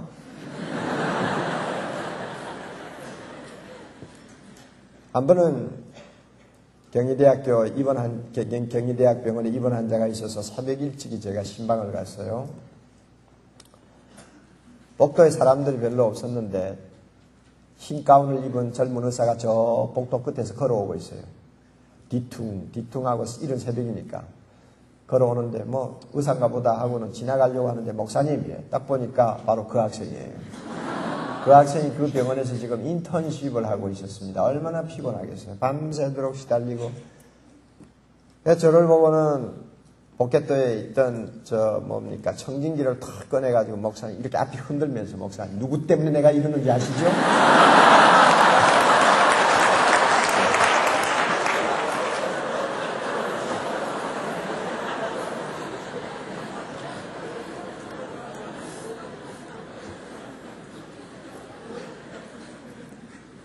물론 반농담적으로 그랬겠지만 굉장히 뼈가 있는 말이었죠.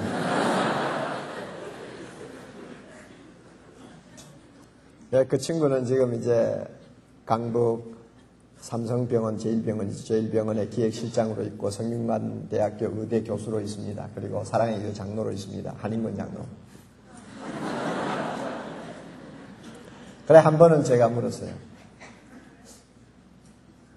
너 신학교 다시 갈 생각 없니?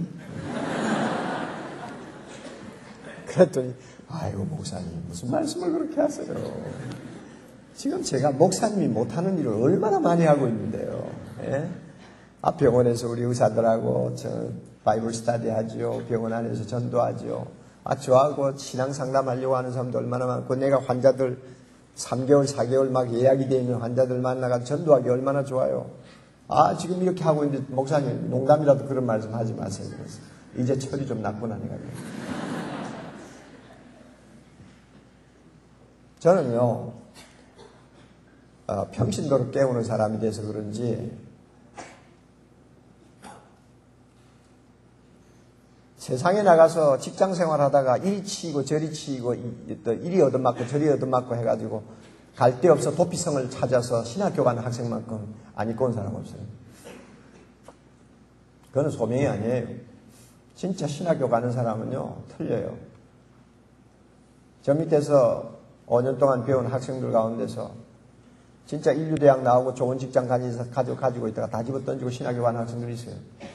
저에게 미국에 있을 때 편지를 했는데, 목사님, 이제는 주님이 신학교 가서 주의 종이 되라고 하는 음성을 계속 주는데 이제는 거절을 못 하겠습니다.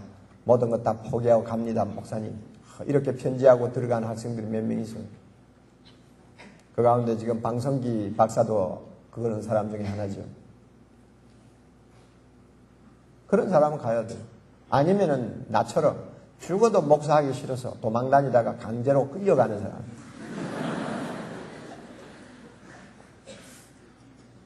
그렇지 않고 말이죠. 아, 주님의 일을 하려면 목사가 돼야 된다. 나는 귀가 아프도록 그런 이야기를 들었는데, 정말 그거는 반쪽집이에요. 아, 그래. 주님을 위해서 살려는 사람이다. 목사 되어야 된다면. 그러면 목사 아닌 사람은 누구를 위해 사는 사람이냐? 성직자가 되고 성교사만 되어야 주님을 위해서 일할 수 있고 나머지 일은 그럼 주님을 위하는 일과 거리가 멀다면 세상에서 직업 갖고 일하는, 일하는 평신도들은 도대체 어떻게 신앙생활 할 수 있느냐, 그 말이에요. 무슨, 무슨, 무슨 의미를 가지고 신앙생활 할 수 있어요? 교회가 잘못 가르치는 거예요, 지금. 잘못 가르쳐도 한참 잘못 가르치는 거예요. 그래서요, 저는요, 학생들에게 분명히 이야기했어요. 직업도 소명이다. 믿어요, 안 믿어요? 직업도 성직자와 똑같은 소명입니다. 목사직과 똑같은 소명입니다. 하나님이 시키신 거예요. 자, 여러분. 주님이 비유로 말씀하셨어요. 두 달란트, 아니, 한 달란트, 그 다음 몇 달란트? 두 달란트, 그 다음 몇 달란트? 다섯 달란트. 셋이 있죠. 그래가지고, 마지막에 결산을 합니다. 한 달란트는 참 비참한, 비참한 결과를 가지고 결산을 했죠. 두 달란트, 다섯 달란트는 주님 앞에 칭찬을 들었습니다. 자, 그런데 여러분 보세요. 이 세 사람 중에서 성직자가 누굽니까? 목사나 선교사라고 할 수 있는 사람은 두 달란트, 한 달란트, 두 달란트, 다섯 달란트 중에서 어느 사람이에요? 대답 못하죠? 자, 그럼 봅시다. 공무원이 되어가지고 예수 믿는다는 꼬리, 꼬리표가 붙어서 평생 진급도 못하고 만년 과정하다가 그만둔 사람. 그러면서도 주님 앞에 신실하게 한 생을 산 사람. 이 세 달란트 중에서 어느 달란트에 해당되는 거예요? 대답 못하죠? 대답 못하죠? 여러분 이걸 알아야 돼요. 주님 앞에 가면 직분대로 서는 거 아니에요. 목사 따로 세우고 평신도 따로 세우고 장로 따로 세우고 그렇게 되어 있지 않아요. 달란트대로 주님이 결산한다고 그랬어요. 그럼 달란트가 뭐예요? 주님이 우리에게 주신 재능이에요. 우리에게 주신 은사예요. 우리에게 주신 기회예요. 이 모든 것. 이거는 사람마다 다 틀려요. 그러나 내가 받은 대로 우리가 어떤 직업을 가지고 살든지 무엇을 하든지 간에 하나님의 영광을 위해서 다 살 수 있다는 거예요. 모든 사람이 하나님의 영광을 위해서 나를 대신하여 십자가에 죽으시고 부활하신 주님을 위하여 살 수 있는 명분과 근거가 분명히 주어져 있다는 것입니다. 그러니까 어떤 직업을 가지고 살았든지 주님 앞에 와서는 내가 주의 일을 했다, 주의 일을 안 했다. 이걸 가지고 이런, 이런 평가를 받을 수가 없어요. 누구나 다 주님을 위해서 살도록 하나님께서 주셨어요. 기회를 주셨고, 은사를 주셨고, 달란트를 주셨고, 한 생을 주셨어요.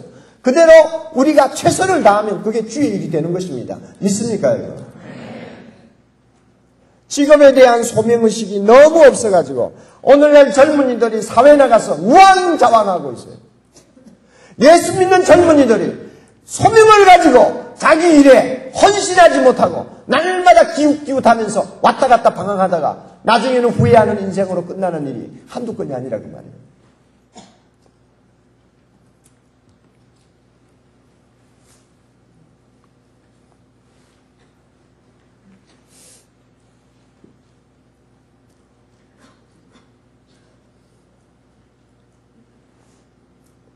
제가 대학생들하고 한 5년을 있다가 이제 미국 유학을 떠나면서 학생들에게 한 가지 주문을 했습니다.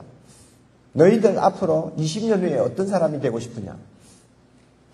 자기 비전을 좀 적어내라. 그래가지고 비전 카드라고 해가지고 비전 카드를 다 내줬어요.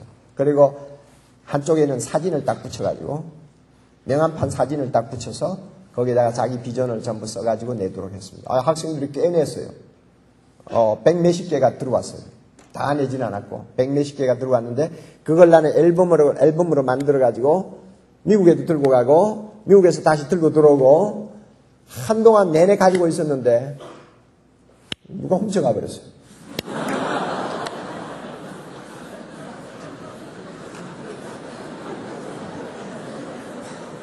없어졌어, 없어졌어. 근데, 그게 없어졌는데도 기억이 나는 사람 몇 사람이 있어요. 어떤 학생이 이렇게 써냈어요. 목사님, 저, 저는요, 하나님 앞에 받은 은사가 비즈니스인 것 같아요. 그래서 저는 비즈니스를 통해서 성공해가지고 세계복음화를 위해서 내 비즈니스가 쓰임받기를 기도하겠습니다. 하고는 사진을 딱 붙여가지고 예쁘다. 하고 참 그, 그, 그, 그 말이 딱 마음이 bek혔어요. 이상하게 그렇게 돼 있어요. 그 다음에 또 한 친구는 저는 법조인으로서 이 땅에 공의를 펴는 일에 좀 쓰임 받도록 하나님 앞에 기도하고 있습니다. 그래서 그 학생은 그럴 수밖에 없는 것이 대학 4학년 때 벌써 고시 합격을 하고 있었으니까. 고시 공부할 때는 우리는 절간에다 보냈거든요. 절간에 가야 공부를, 공부가 잘 된다고 그래요. 그래서 절간에 보냈죠. 절간에. 왜냐하면 나는 하여튼 세상에서 어떤 직업을 갖든지 하나님의 자녀가 똑똑하게 직업 제대로 갖고 일하면 하나님의 역사가 일어나는 걸 나는 믿기 때문에 어, 공부하겠다는데 절간, 절간에 가서 공부하겠다는데 안 보낼 수, 세 사람을 보냈죠? 보냈는데 그 중에 둘이가 합격을 했다고요. 그런데 그 친구가 와가지고 나중에 하는 말이, 목사님, 아침마다 해프닝이 벌어졌습니다. 스님들하고 다 앉아가지고 밥을 먹는데, 우리가 기도하잖아요.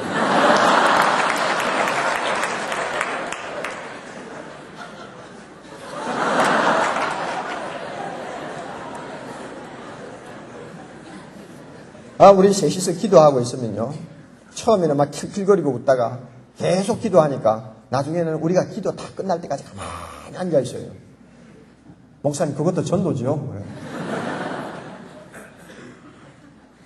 우리는 그런, 저는 그런 식으로 대학생들을 키웠어요. 그런데, 어, 비전을 써내라니까 각자 그렇게 비전을 써냈어요. 써냈는데, 참 지금도 이, 이 젊었을 때 어렸 젊었을 때 하나님 앞에 내가 어떻게 살아야 되겠다는 목적을 분명히 어, 발견하고 그 목적을 위해서 일사불란하게 한 생을 살겠다고 다짐하면서 걸어가는 사람 하나님이 얼마나 대단하게 사용하시는가 누구를 보고 아느냐 하면 일랜드의 박성수 회장을 보고 내가 알아요. 그 친구가 그런 카드를 써냈으니까. 대학을 졸업하고 5년 동안 병상에 있었어요, 그 친구는. 근육 무력증에 걸려가지고 병상에서 실험했어요. 거기에 무슨 소망이 있겠어요? 그러면 어떤 사람 같은, 아이고, 하나님께서 나를 이렇게 어려운 자리에 떨어뜨리는 것은 신학교 가라는가 보다. 그래가지고 아마 신학교에 갔을 거예요, 어떤 사람은. 그게 하나님의 무슨 뜻인 줄을 착각하는 사람들이 가끔 있으니까. 그러나 이 학생은 5년 동안 병상에서 실험을 하면서도 하나님께서 나를 사용하실 것이다. 비즈니스를 통해서 세계복음만을 위해 내가 쓰임 받을 수 있다. 절망하지 않았어요.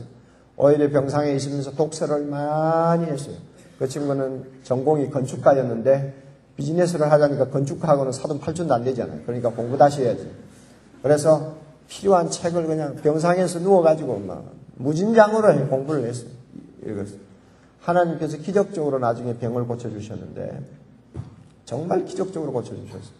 하나님이 뜻을 두고 사용하시려고 하는 사람은 하나님께서 그렇게 연단의 과정을 거치게 할 때가 가끔 있어요.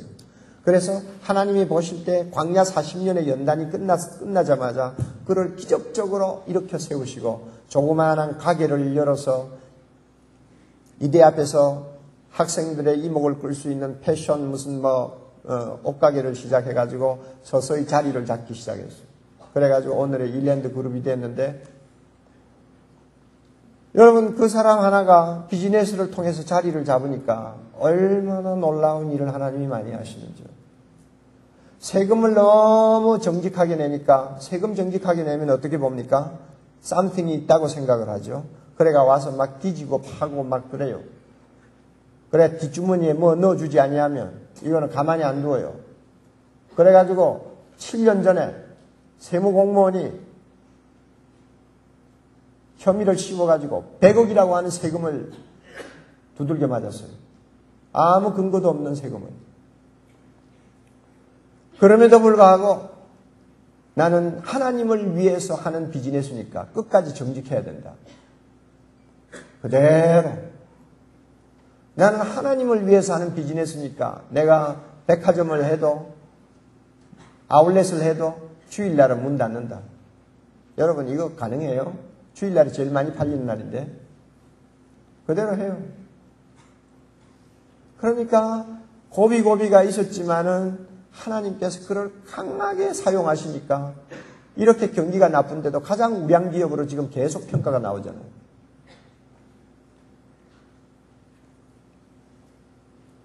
매년 스승의 날이 되면 카드와 카드를 쓰고 꽃다발을 들고 조그마한 선물 별것도 아니지만 들고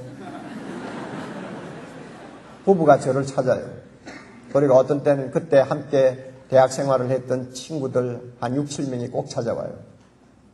그러면 카드에다 뭐 쓰는데 항상 같은 이야기예요. 비슷한 이야기예요. 저는 옥 목사님을 만나지 않았더라면 오늘의 내가 존재하지 아니할 것입니다. 그러니까 내 직업이 얼마나 하나님 기뻐하시는 거룩한 제사라는 것을 대학생 때부터 배웠다 그 말이에요. OM 선교에 둘로선이라는 배가 있죠. 300여 명의 선교사들을 태워가지고 세계 곳곳을 누비고 다니는 배가 있어요. 그 배가 얼마나 오래된 배냐 하면 타이타닉하고 비슷해요, 연륜이. 그러니까 언제 푹 빠질지 몰라요. 아무리 선교하러 다닌다고 해도 300, 40개국에서 그 모인 선교사 300명을 싣고 가다가 푹 빠지면 그거 어떻게 하나님께 영광이 되겠어. 그러니까 이제는 배를 갈기로 시작했어. 갈, 가려고 이제는 헌금을 모으는데 2천만 불이 이제 예산이에요. 2천만 불이 예산인데 박성수 회장이 저보고 그랬어요.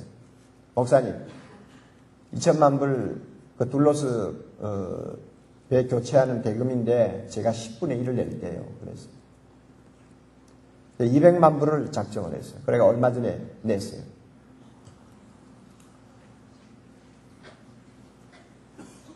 얼마나 멋있어요. 그 사람은요, 자동차 지금 10년 전 고물 자동차 끌고 다녀요.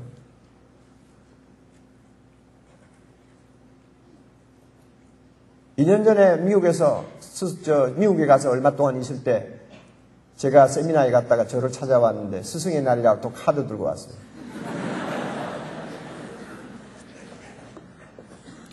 거기서 우리 둘이 싸, 싸웠어요.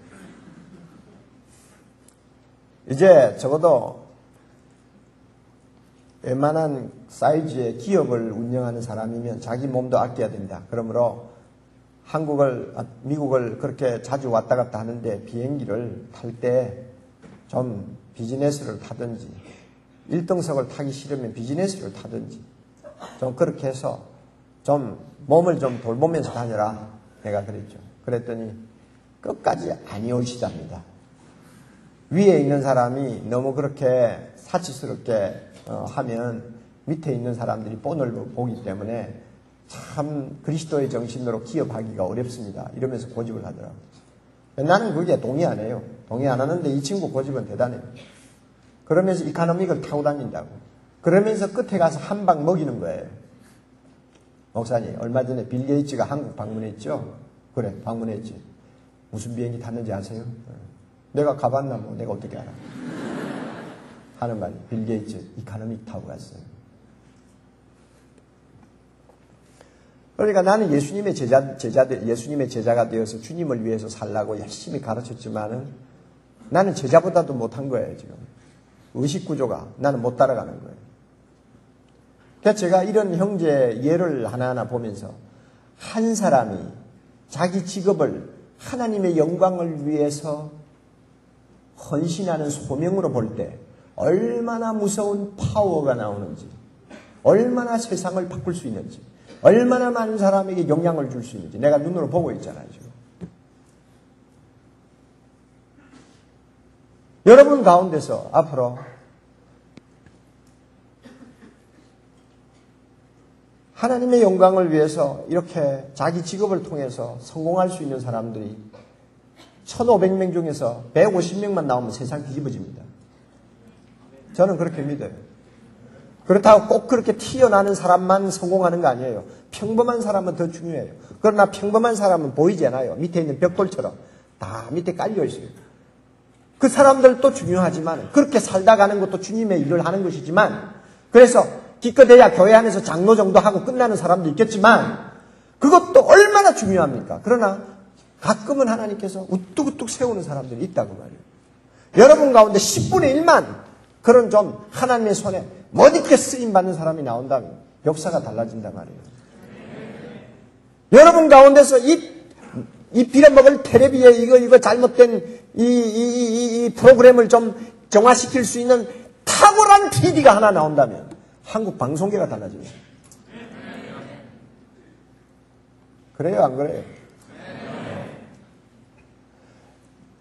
여러분이 정말로 젊은이들의 가슴을 참으로 움켜쥐고 그들에게 새로운 세계의 눈을 열어줄 수 있는 작가가 하나 나온다면, 한 사람이라도 나온다면, 그 사람을 통해서 얼마나 큰 파장이 사방으로 퍼져나갈지 여러분 아세요? 배너를 여러분이 누가, 누가, 누가 배너, 배너 소설을 썼는지 여러분 기억하실 거예요. 저는 영화 중에서 배너만큼 많이 본 거 없어요. 한 일곱, 여덟 번 봤어요. 정신 나갔구만 그럴 거예요. 뭐가 좋아서 봤는지 알아요?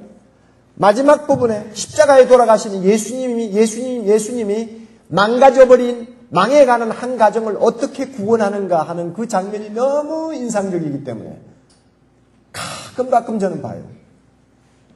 작품 하나 제대로 쓰니까 그 작품을 통해서 하나님의 놀라운 영광이 드러나더라고요.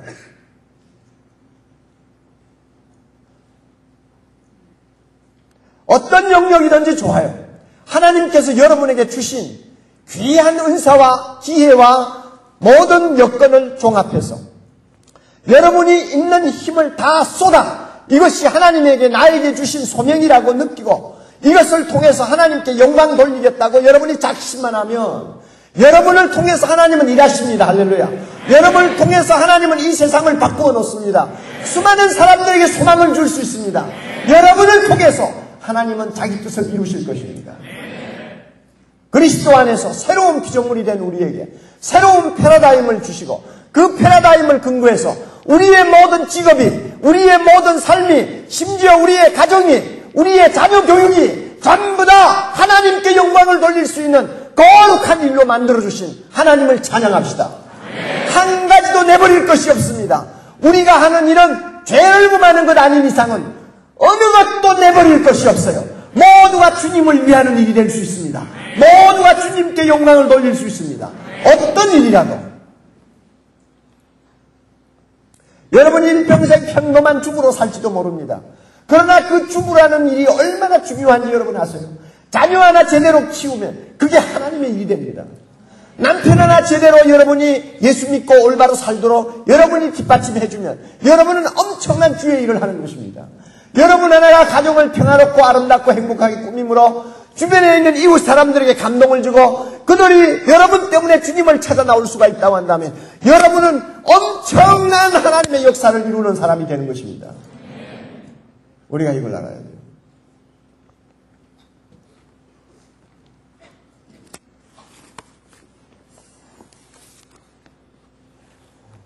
오늘 이 자리에 계시는 성령께서 사랑하는 우리 젊은이들의 마음을 열어주시고 우리를 왜 그리스도 안에 불러주셨는지 그리스도 안에 불러주셔서 우리에게 주님이 주신 은혜가 무엇인지 다시 한번 깊이 확신하고 깨닫고 감사하고 다시 한번 새로운 결단을 하는 귀한 은혜가 있기를 바랍니다.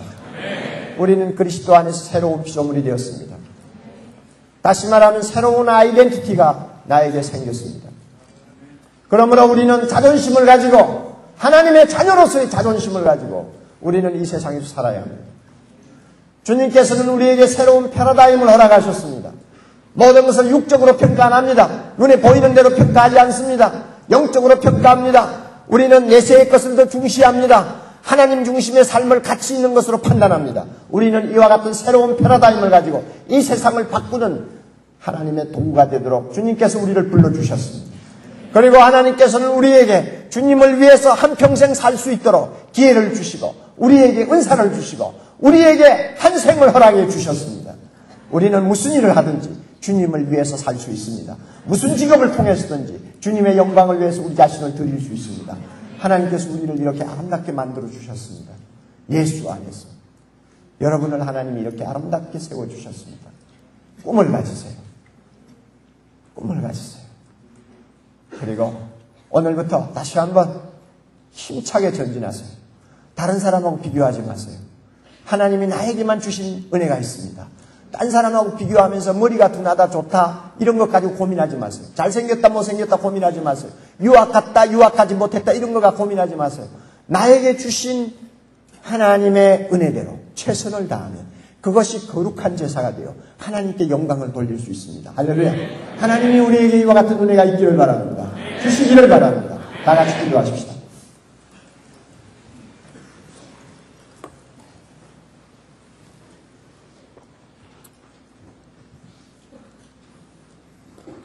사랑하는 젊은이 여러분,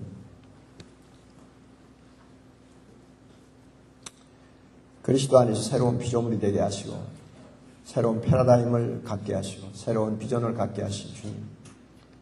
얼마나 감사합니까? 여러분은 보통 존재가 아닙니다. 절대 시시하게 살다가 끝날 존재가 아닙니다. 하나님이 우리를 그렇게 시시하게 만들어 놓지 않았습니다. 우리를 그렇게 시시한 존재로 만들기 위해 주님이 십자가에 죽으신 거 아니에요. 엄청난, 엄청난 의미를 갖고 우리를 세상에 보내셨고, 놀라운 목적을 가지고 오늘까지 하나님께서 우리를 인도해 주셨습니다. 그리고 우리가 걸어가야 될 우리의 인생길을 하나님께서 예비해 놓으시고 우리를 인도하고 계십니다. 주님을 보십시오. 이 시간 주님을 보십시오. 그리고 주님께 여러분의 생을 맡기십시오. 그리고 주님께 영광 돌리는 한 생을 살도록 다시 한번 다짐하십시오. 한 목소리로 기도합니다. 다 같이, 다 같이 진지하게 주님 앞에 말씀을 생각하면서 한 목소리로 기도합니다. 자비로우신 주님이 이 시간 우리 모두